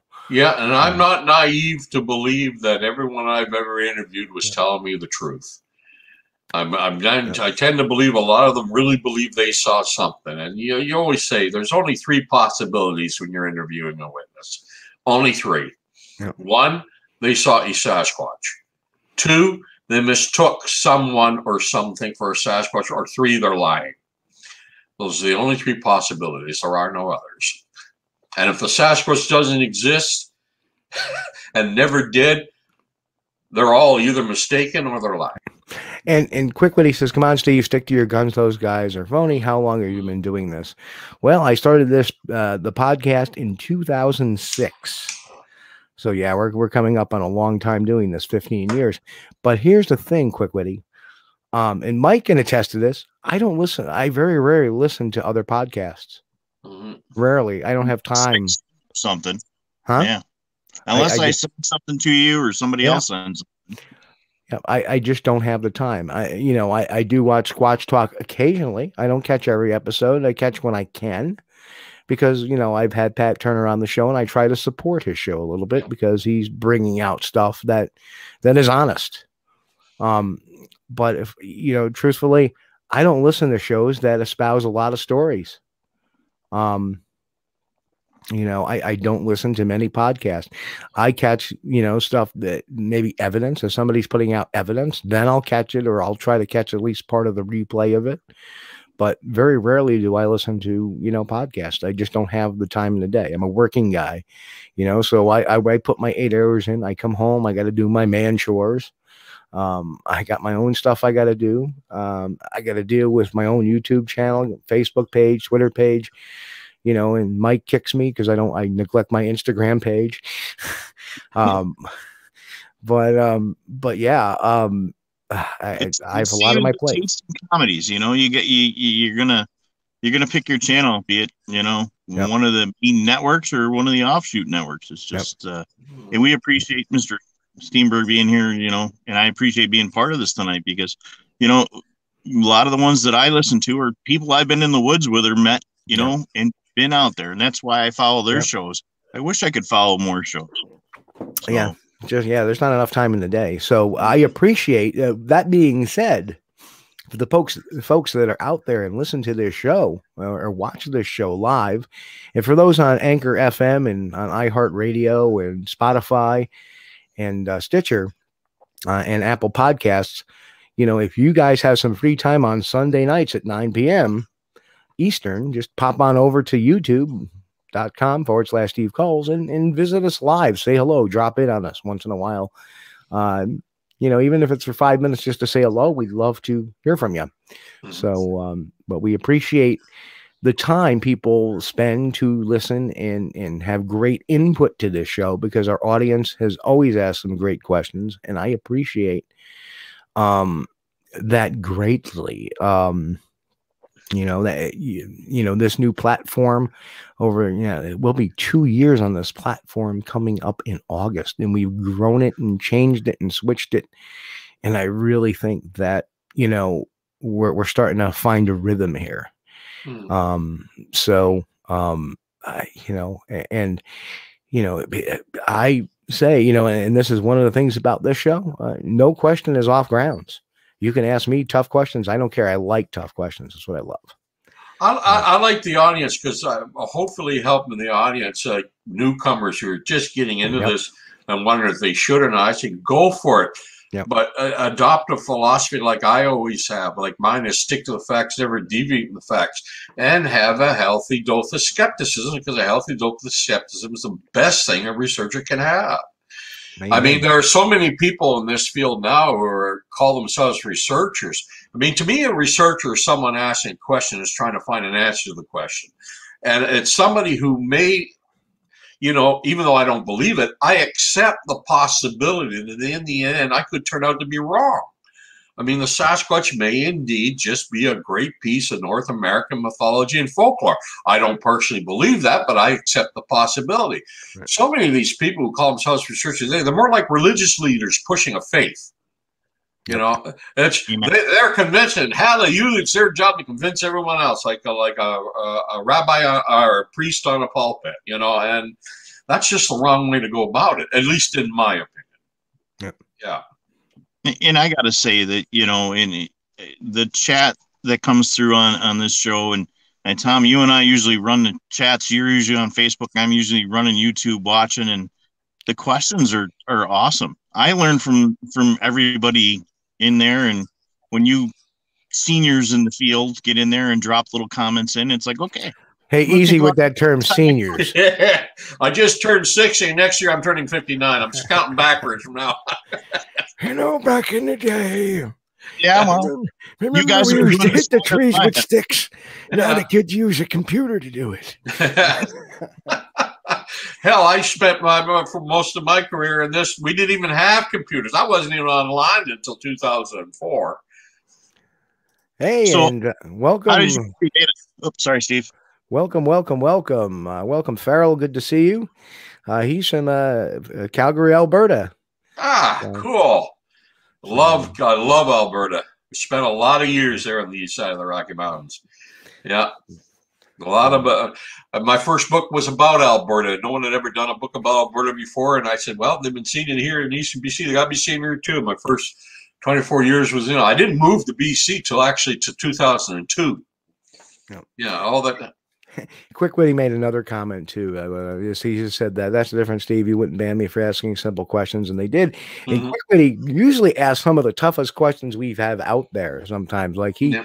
he called onto the carpet. Uh, you know, somebody. Well, where does your expedition money go? How much? You know, he and of course we we asked that, and I I always predicate that to some people that hey, I, you know, this is a question from the chat. We got to, you know, we, we're going to ask it. We we're nothing is off bounds unless there is something specific like an NDA or in place that then you know we'll work with it. Well, it's like when we went on a uh, expedition uh, or Operation Sea Monkey in 2016. I hated that name. People were all asking Todd, Todd, where did that money go? And I said, What do you think it went? It paid for the gas, it paid for the food, and we paid for the boat owner and the captain. um, Mick made a That was question. Port Chatham uh, expedition. It was called Operation Sea Monkey. It was in the islands between Vancouver Island and the mainland. Yes, you went. Uh, you went. You went a boating with Todd Neiss. Yeah. Yes. Yeah, Ron Moore had and- yeah, yeah, Uh, Mick Mick said the blog talk days were fun in their own right. I wish Steve could find the episode with Beckjord and repost it. That was a funny show. funny you should say that, Mick, because that's one of the shows that is going to Patreon. Because some of the really, because I do have a lot of the old shows, um, you know, and, and some of the folks remember Dr. Uh, Wolf Henner Fahrenbach. oh, fair. Yeah, yeah. And uh, he was great. He was a great i- i- interviewer, uh, great interview as well. Um, Yeah, it's a know- pity he doesn't seem to be involved anymore. I haven't heard from him in a long time. no, he, retired from it, uh, as Yeah. did Jimmy Chilcutt. Yeah, Jimmy was an interesting fellow too. Yep. Yeah. Um, unfortunately, I never, you know, uh, Dr. Leroy Fish passed away before I could Yeah. ever get him on. He was a uh, he was a wildlife biologist, wasn't he? I. Yeah. Bryan Sykes passed away recently as well. Yeah. Yeah. Yeah. Um, John and- lost Of him. course, I was gonna say- mine. Yeah. I mean, you had a lot of interaction with Dr. John, I believe. Yeah. And I'm sorry that, that you know you lost your friend, and I, you know I know you guys. I've lost a uh, lot of my friends. Yeah. I mean, they're all, And- they're all gone. Yeah. yeah. I know I had the chance to meet uh, Dr. John back in 2006 on our Monster Quest episode, Mm-hmm. and he actually looked at my print, and that, that was kind of the coolest thing. Mm-hmm. Um, so uh, okay, so we do have a question from uh, from uh, Farrell uh, coming up here, and it's like, "What's your take on the Calgary sighting that's supposed to take place in Calgary Park area? It's a very interesting video. Kid says that isn't human. It looked big and moved very fast. I know exactly the one he's talking about. I think they were looking at a moose from the back. It was a Okay. moose that got up and walked away. And what, what struck me most was the attitude of the adults in that in that situation. I think the adult kind of knew it because his attitude was, "Let's get the kids away. There's something unknown here that could be harmful or something like that." It, it was like, "Ooh, gee, wow, look, it's Santa Claus." Ooh, you know that kind of. Thing. Yeah, yeah. No, I think I think what it was was a moose, gotcha. probably a female moose without antlers, and it and it was sitting there, and it got up and walked Yeah. away at their approach. Yeah. That's what I think it was. I've looked at it a dozen times, and that's what I think it was. And there you go. There's an I haven't seen it, so It look it looks bipedal because you're looking at it directly from the back. we we got two other questions. One for me. Uh, was it 2013, Steve, when you flew to Hollywood, California to call Rick Dyer's bluff? Yes, was. And uh, I did. And I met Susie Mateus, who runs the Bigfoot community on Facebook. And uh, oh, what was his name? Uh, but but we we ended up uh, they ended up picking me up at the airport. We ended up going to a bar, having a couple of cocktails, enjoying our time. And uh, then we had In and Out Burger, and I flew home. So I was got my In and Out burger fix and off I went. Um, uh, here it is. Uh, whoop, hang on. No, no, no, uh, where is it? Oh, Timmy Boy. Has Thomas ever phoned Bigfoot? No, but I think he's phoned me half a dozen times. or at least people trying to be one. Funny thing is, in that whole thing, and and uh, Ken Collins, um, you know, he was the organizer of that event, and poor Ken is catching hell for that, folks. He didn't plan it. He didn't know it. It was just as a surprise to him as everybody else. So, just please let the pressure off of of. uh So we got a bunch of questions coming through. Uh, first one is quick witty. Um, uh, any thoughts on aggressive Sasquatch evidence they found in the Brushy Road Creek area? I don't know if you've heard any of that. I've heard uh, it said in Texas that they seem to have a more aggressive animal in in in in in general, and people are disappearing and stuff like that. But I notice there don't seem to be much police interest in these cases. And that's huge because why Yeah. wouldn't the police want to be Yeah, involved? yeah, yeah. And uh, I think if, I think if the Sasquatch was aggressive or we had some kind of monster out there, we'd know more about them by now. Yep. But on the same time, people do disappear wilderness areas every year, and uh, I think if you ran into a hostile Sasquatch, you would tend to disappear. Yeah. Yeah. And from from our good friend Tate, who has a great first name, not so great last name, Tate Hieronymus. Oh, wait a minute. Hold it. no, it's not wrong Tate, wrong Tate. He says, "What do you think, guys? Think of Les Stroud Survivor and Bigfoot series?" I have no problem with Les Stroud. I, I think he was taken in by Todd Standing though a bit. Yep. Oh, not a bit, a lot. Or or he was just playing along. He knew Todd Standing was pulling his leg, and he just played along for the show. I don't know. but his new series is just him. Yeah. I if you've seen. I don't know if you've seen any of those. No, I don't. Uh, I Yeah. don't have cable TV. Oh, okay. I gave it up. So his new series is just him going out in his cameraman, going out, Mhm. doing all the stuff they need to do to find Bigfoot, and it's very, very critical, skeptical. Um, I felt it was very honest. You know, Well, good. I'm glad he yeah. is because, like I said, I always like Les Stroud as an outdoor enthusiast and survivalist. I always liked what he did, but when he got involved with Todd Sand, I said, "Oh, come on, man, you can't be this gullible." yeah. And Yeah. Bob Lemley mentioned it's on YouTube, so you can check it Oh, out. it is on- okay. Yeah. I will. Thank you. Yeah, Thank yeah. you. I will check. You it know, out. Uh, I, I, I've watched some. Yep. Sorry, Steve. He, he actually reached out to uh, to Ray about his story down in South America. So Oh, cool. You know he's way before he was doing the other stuff. So Gotcha. uh, that whole survival thing. So it's the background on that is uh that's one of my guys he reached out to that had a very interesting encounter. Yep. And out here. I, I don't know if you've heard Ray's story, um, Thom. Ray was an Army Ranger medic, Mhm. and he was in Central America uh, with a, a, a Ranger um, battalion, not a battalion, but a um, special team. Special team. And they were uh, working against FARC at the time, the uh, insurgent group there. Mhm. And his uh, platoon, that's the word I was looking for, Mhm. his platoon had at least a couple of encounters with the Mapinguari, Mhm. which is the the um, uh, the, the South American, Central American version of Bigfoot. And uh, his story is truly amazing. And he had another follow up story where he actually got separated from his platoon and was lost for 22 days in the, in the in the jungles of Central America. So um, Mhm. very very great. It's if you ever catch it, it's somewhere on. We didn't have actually it was on the blog talk side. I think Mhm. we had him on. We love to get Ray back too. By the way, Mike, just to do I'll grab again. him.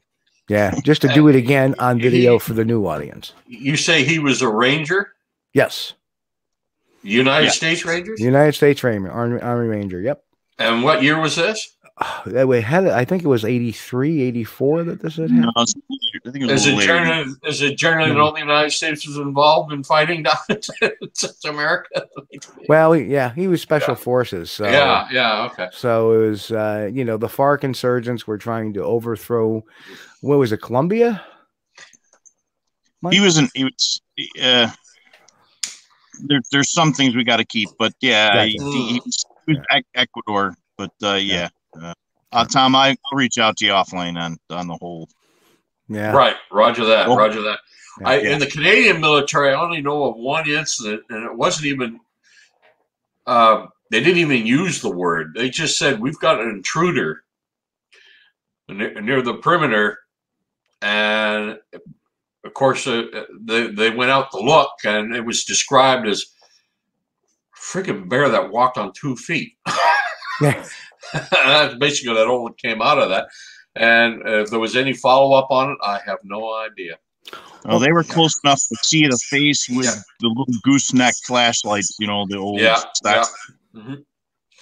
Now, now, Thom's. I don't know if you're aware of the uh, uh, Rogers Rangers in the in the Green Mountains of Vermont uh, had something journaled in their exploits. I believe it was in 1759, Mhm. where they had to repel a group of bears that were throwing rocks at them with a volley of shot. I've heard the story. Yeah, Yep. yep, yep. I heard the story. So, uh, it wasn't us. no. We were the enemy then, so it wasn't us. have you Well, had a good rock throwing incident?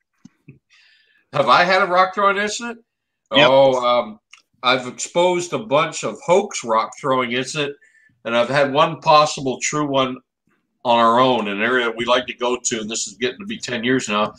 Uh, uh, guys I was with say something's throwing rocks because they notice these rocks falling all around us.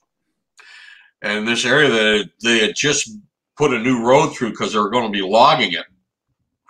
and we were going up and down this freshly dug uh, Forest Service road because it was all dirt and it was a great place to look for tracks. So we're going up and down it, and while we stopped on one of our breaks, all of a sudden a bunch of rocks came flying, and I still wonder to this day where where where, where they came from because we never saw anything.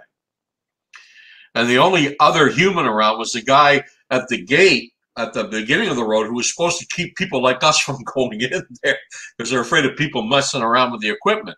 But we got there when he was away or something. He didn't see us go in. So we asked him, we always wondered, well, was this guy throwing rocks and stuff like that? We asked him, it was impossible because he would have had to been the greatest pitcher in history to throw the rocks down to the point of the road where we were. So it wasn't something was throwing rocks or someone that we didn't see. Todd, I, uh, yeah, Yeah. Uh, Thom, I don't know if you can read the screen. More likely, except I think his aim would have probably been a little better. What the what the screen said was Todd Stan. It was Todd Standings Rex. Yep. Uh, But one, of- one, one of the biggest, there was a guy here who was, what, got about my wife, smoke. The smoke detector.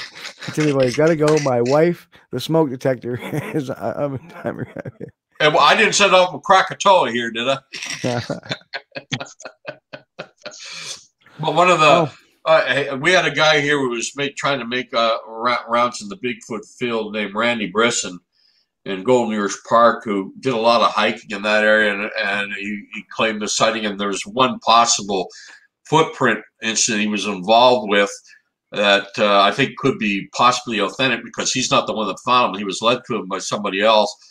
But we caught him red-handed throwing rocks. We were down there. The bunch of people in the BFRO came up. And he was getting that much attention at the time, and we were doing a sort of a kilometer hike. What? What? What? what? Better get your wife an air fryer. That's my audience. Uh, what was I talking about? Oh yeah, yeah. Randy Right, Brisson. Yeah, yeah, yeah. And uh, I, I noticed right away, and I, I uh, David Hill, I said, stay back a bit, and for God's sakes, don't let this guy get in behind the group, because all the time, every time it happened, it always happened to be when he was off to the side or he was not in view. And uh, and rocks was a was a very generous term. It was more like big pebbles. And uh, and he did the same mistake so many people who hoax he sees make. He couldn't stop himself. He had to get that last one in, and he happened to throw it behind his back when I was looking right at him. And he winged it off a tree, which I don't think he meant to hit. And so that was that, you know. And uh, it was hooking. The, the, the biggest problem with rock throwing is it's one of the easiest things to fake, Yeah. you know. And but what that day when we were in that expedition in the Norrish Creek region, where somebody or something unknown or somebody unknown was throwing rocks in our generation, and they were pretty and they were pretty healthy size ones, judging by the way we heard them coming down through the trees, like. Yep. I have no idea, but we didn't see anything, and we looked. You know, we looked, we tried, and at one point they were coming down one side of the road, and then they were coming down the other side of the road, and then they went back to the, the first side of the road. But we saw nothing cross the road, and none of my guys who were with me was doing this. They drew my attention to it, and we're all looking at each other the whole time when we heard the damn thing. So. Yeah, so somebody or something was throwing rocks, and that's probably the only time I was involved in the rock throwing that incident that I cannot explain away. But I can't say a Sasquatch did it because we didn't see anything. Timmy Boy is back. Uh, by the way, he forgot about his Bluetooth headphones. Well, we're glad to have you back, Timmy. And by the way, over on Facebook, uh, since you're on YouTube, Bob Lemley sent you a message said, "Better get your wife an air fryer." So, um, so we got a few more questions popping up. But before we we get into that, I have a question of my own. Is what do you think of Matilda? Who's Matilda? That is the Bigfoot uh, Adrian Erickson. Uh, oh God! Oh, you mean I- what Kentucky? that Kentucky? Wasn't it Kentucky? You mean? I don't. You, you I, mean thought, the- I always you- thought Randy Brisson was the one who came up with Matilda.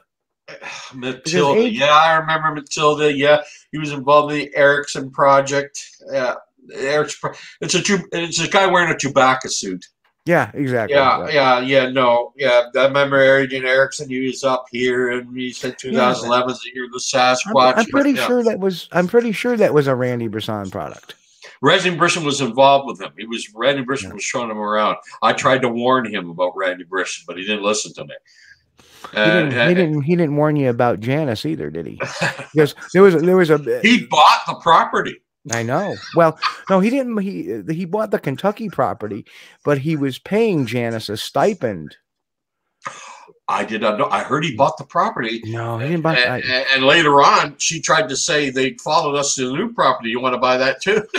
no, no, that was the Kentucky property. yeah. Okay. It was the Johnsons that said that the Bigfoot followed them to the new property, and they tried to Oh, get okay. they tried to get somebody else. That another question is uh, they tried to get Biscardi to buy it.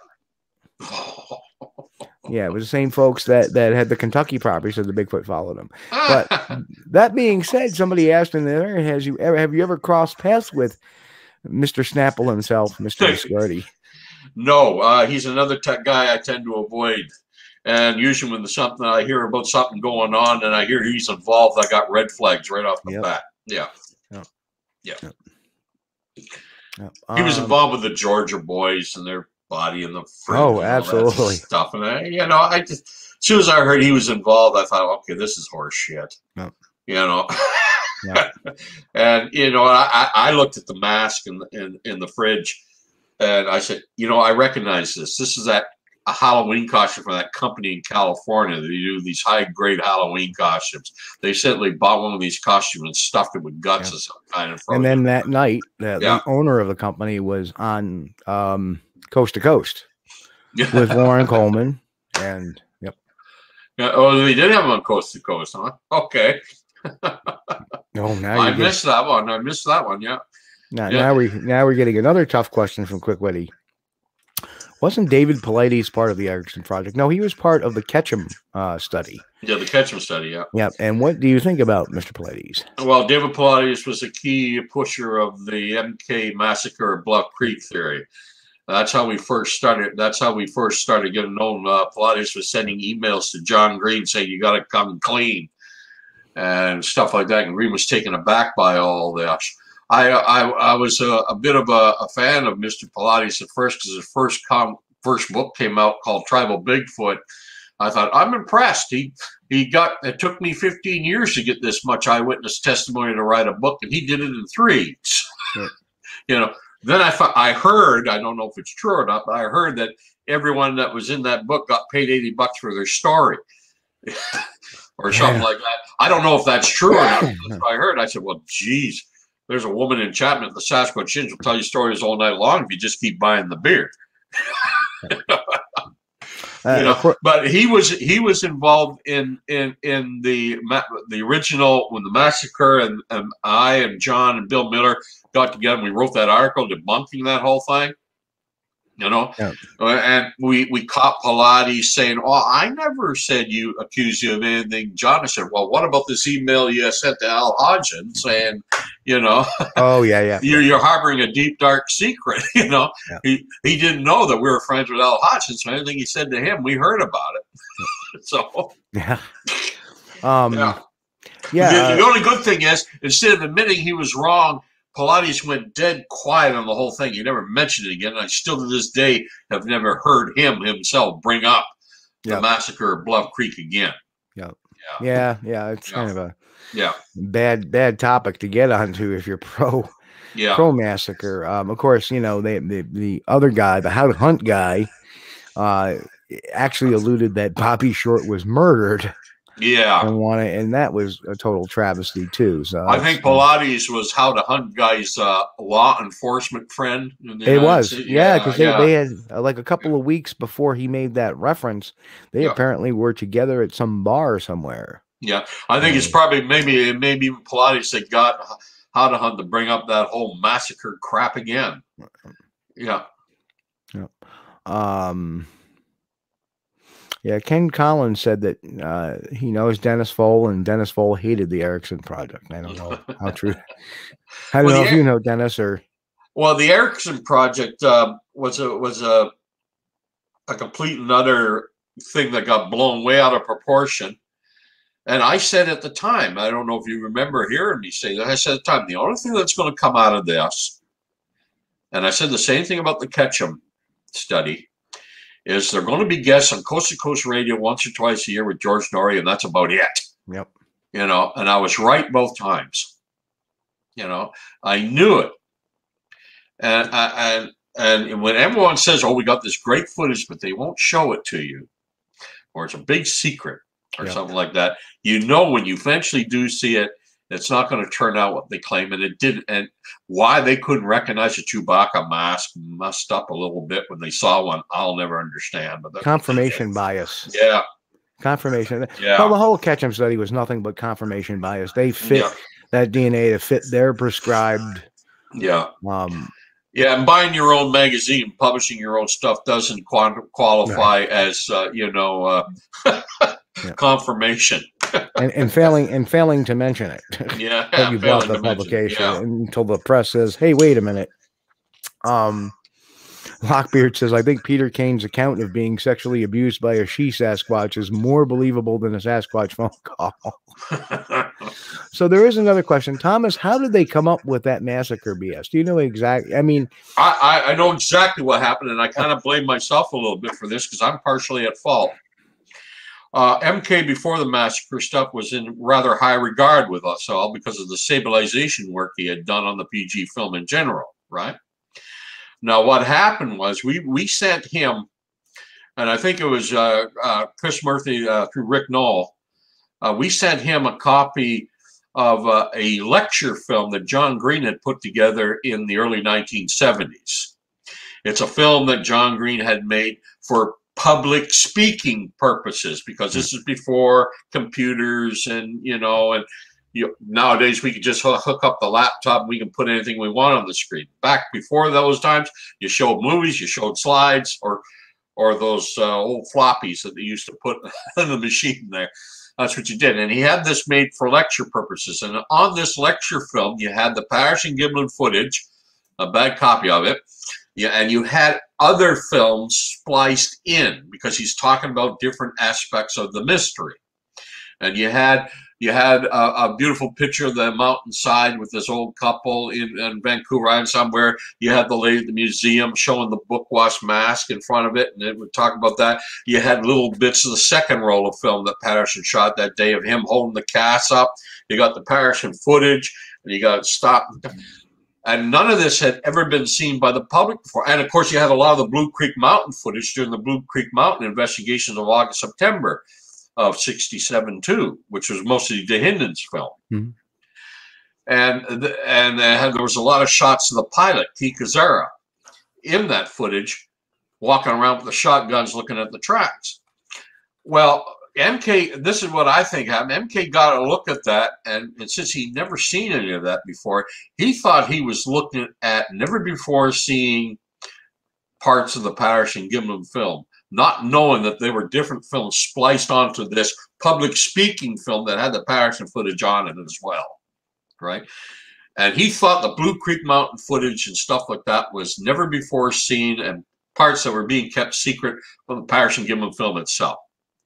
And he started seeing all this stuff in there, you know, the body parts and stuff. And he came out with this massacre uh, because he, and I don't like calling people a, a, a hoaxer, but when you alter images, and he did, stills from the Blue Creek Mountain footage, you know, to make the hands of the pilot look red, to make the, uh, the, the, the, the, the water in the creek look red you know, Yeah. and saying it's blood.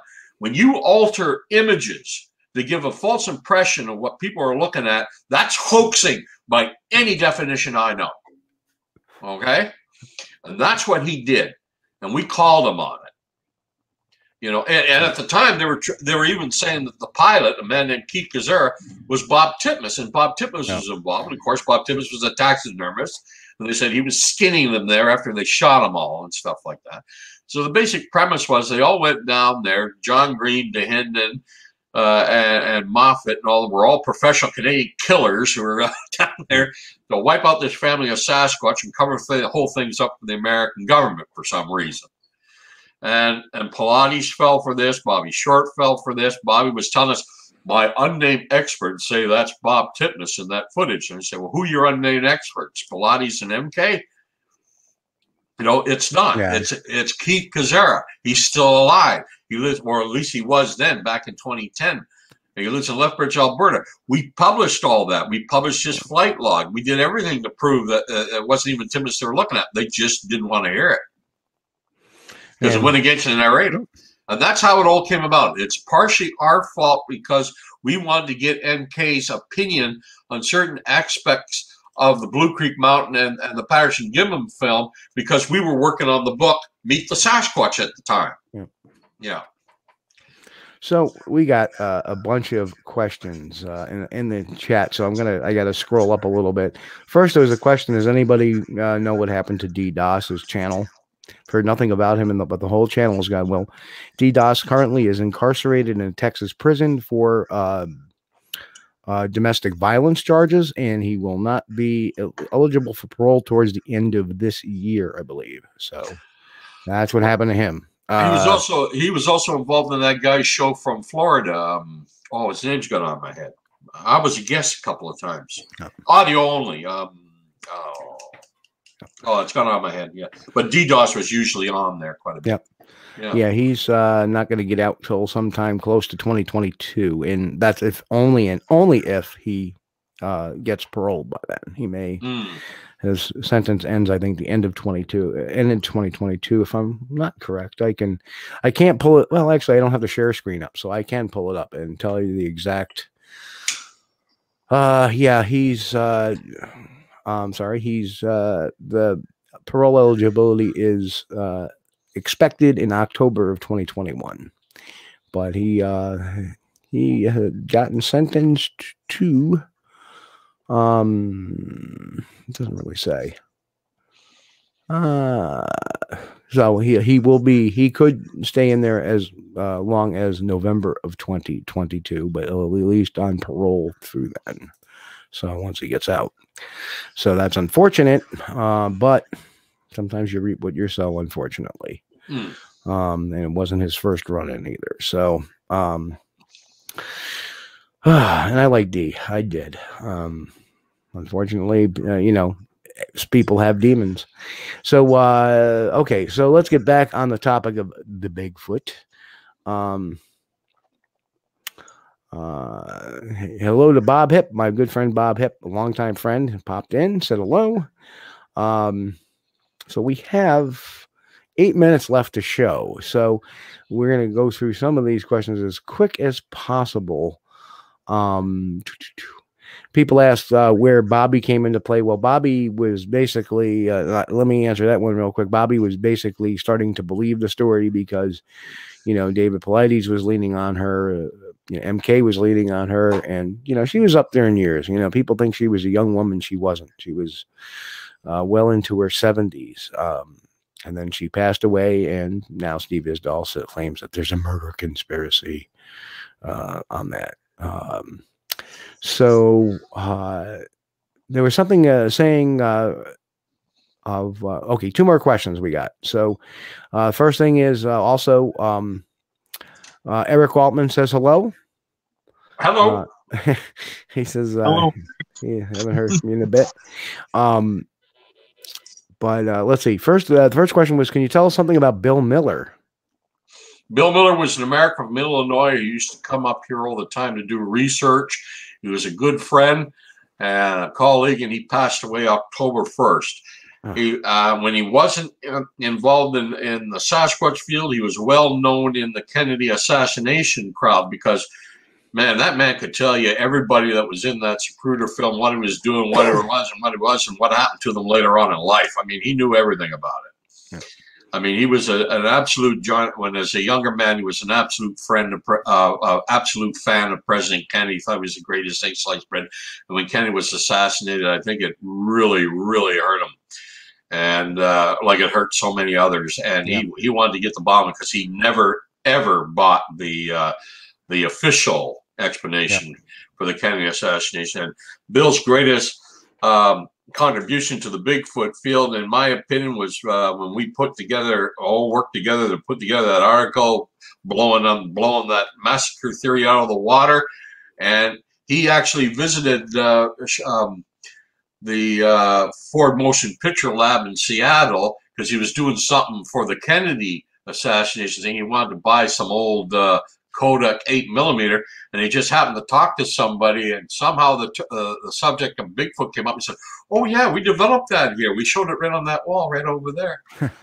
uh, oh well, great. Who was that? What was a businessman the first year? Al DeAtley. He put it, and then about a uh, six or seven months later, a little cowboy showed up to have copies made. Roger Patterson. So I can tell you right now, the uh, for all those questions of where was the film developed? It was developed the Ford Motion Picture Lab at 306 Fairview Avenue, North Seattle, Washington. And I give you the go. phone number too. there you go. so Bill Bill was great, and he was strictly zoological, common sense, and uh, and uh, I miss him a lot. Yeah. I'm sorry, that's not really. Yeah, well, it, it, I miss John Green a lot. I miss Rennie a lot. I miss Robert a lot. I miss Grover a lot. I miss John Benedetto a lot, but you know, we all get old and it comes to an end. yeah. Yeah. Uh, last question we're gonna hit. Um, and uh, if we have time, we'll get to Ken's question. The uh, what do you think of Justin Smeja's story? Uh, the guy who claims to have shot one. Well, I think I think I, I, I think it uh, has been proven beyond a shadow of a doubt that it was a. If there was anything shot, it was a bear. I yeah, agree. and I go along with what what, what the investi- the follow up investigation came. Yeah. Uh, okay, Ken Collins' question: uh, What do you think of uh, Daniel Perez's breakdown on Patty? I think Daniel Perez has done a lot of work down there. I was down there with him myself in 2003. His breakdown, I, well, well, has he come to a different conclusion than his original one? No, I don't think so. I think. Yeah, yeah. I think he's he's pr- probably pretty well bang on the money. Yeah. Yep. Yeah, he was wrong where the film location was for, for a while. Yeah. yeah, I I always knew knew where exactly it was. It was still there, but I think he was a little off, and I told him that. Matter of fact, in 2003, Daniel and I, there was a group going down there looking at the film site, and they're going the wrong way down the creek. Said, "No, no, follow us. we'll take it." and we did. Yeah, yeah, no, no. Uh, Daniel's conclusions of uh, of uh, Patty, I think, is pretty bang on. Gotcha. Unless he's changed it. I, I know he's coming out with another publication soon on the whole subject. I don't know if he's changed it. I don't think so, yeah. uh, because I, I, know he recently gave a lecture in Ohio. I and, didn't uh, see it, so yeah. yeah, and nobody was was you know saying anything negative about it. And you know, oh, okay. if he had come out with a different result, people would have been yeah. saying, "Oh, I think you know." Yeah, I, th- I think I think he believes that it was an actual creature that day. Yeah. yeah. And I think he's bang on about the height estimates and stuff like that. He's probably right. But the, still, the biggest question is what the hell lens did he have on that damn camera? Yeah. So we are at the end of the show, just about.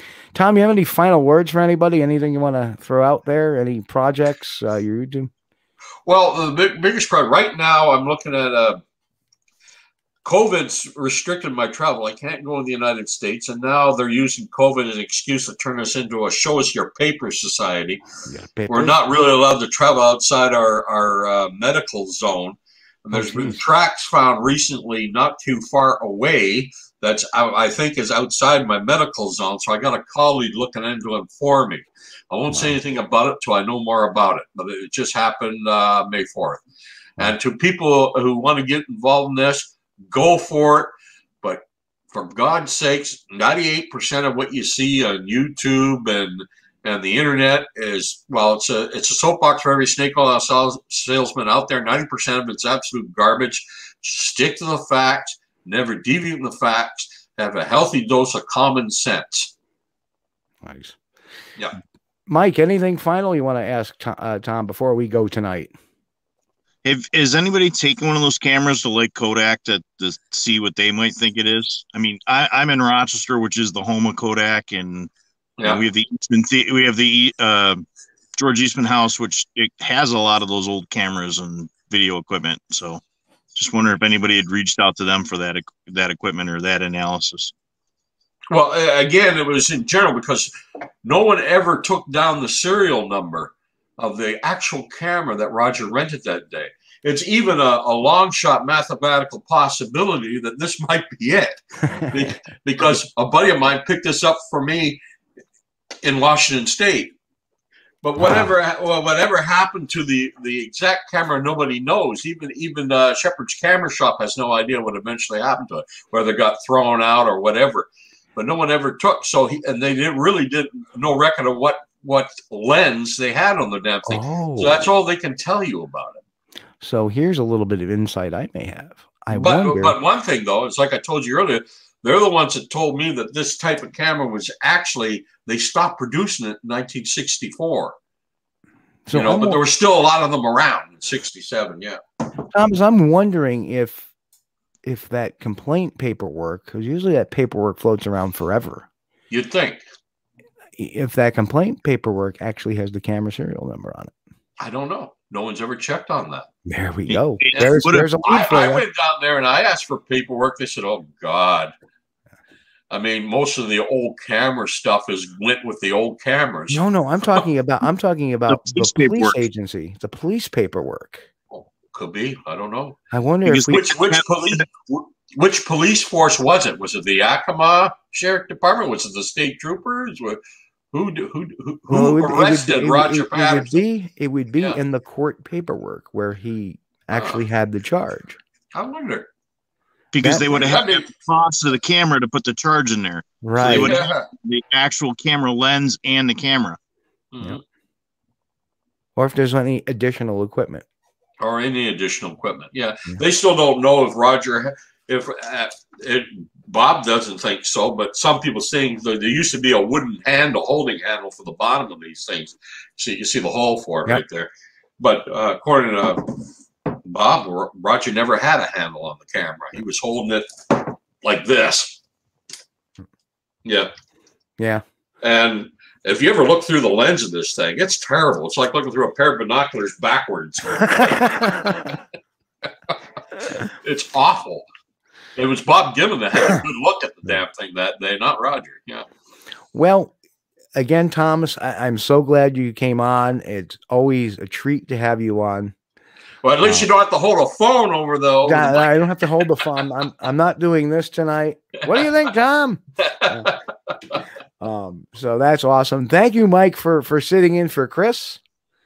Thank you both for letting me be out here, and make sure you guys hit that like and share button. I'll, Yep. I'll do that for Chris tonight. and great job, Mike. Keep searching, man. I'm glad you took a little time out for the show tonight, but appreciate you out there in the snow trying to find the evidence, man. That's what we Be should safe, doing, brother. Yeah. Thank you. Thank you both. and, and we'll see you next week or this week, this upcoming weekend at the uh, Sasquatch Triangle Bigfoot Conference in Ohio, Coshocton, Ohio. So uh, who knows? We may get to tootle around in Salt Fork State Park for a little bit. Sounds like a plan. All right. So, folks, on behalf of everybody here, I just want to let everybody know in two weeks, we will be returning with Leon Smith from Bigfoot. I'm sorry, Leon from Bigfoot Okanagan and Steve Anderson from Curious Cryptid, who is actually in chat tonight. So there he is. Um, and, and these guys are brains, and Thom, you know both of them as well. and uh, boy, you guys are going to be in for a mind trip. mind trip but it's going to be a great show that'll be we'll be returning here in two weeks which that means that should be 7 16 23rd I believe that would be may 23rd 2021 for episode 65 again we're going to have steve the curious cryptid and leon bigfoot okanagan and we'll have those guys on of course 9 p.m eastern here on youtube.com forward slash Steve Kulls. So, uh, on behalf of everybody here, we want to wish everybody a happy, safe, and uh, healthy week. Um, we are almost out of this COVID stuff, so let's keep our prayers that it's going to pass quickly. And uh, we'll catch you, uh, of course. God bless, and of course, keep on squatching. Catch you all here in a couple of weeks.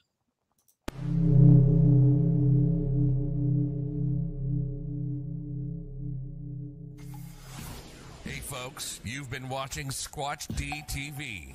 Join us each week, Sunday night at 9 p.m. Eastern, for the latest on the Bigfoot mystery. As always, we thank you for being our loyal viewers and encourage all to subscribe to our YouTube page at youtube.com slash Steve Kulls. As always, have a great week. Stay safe.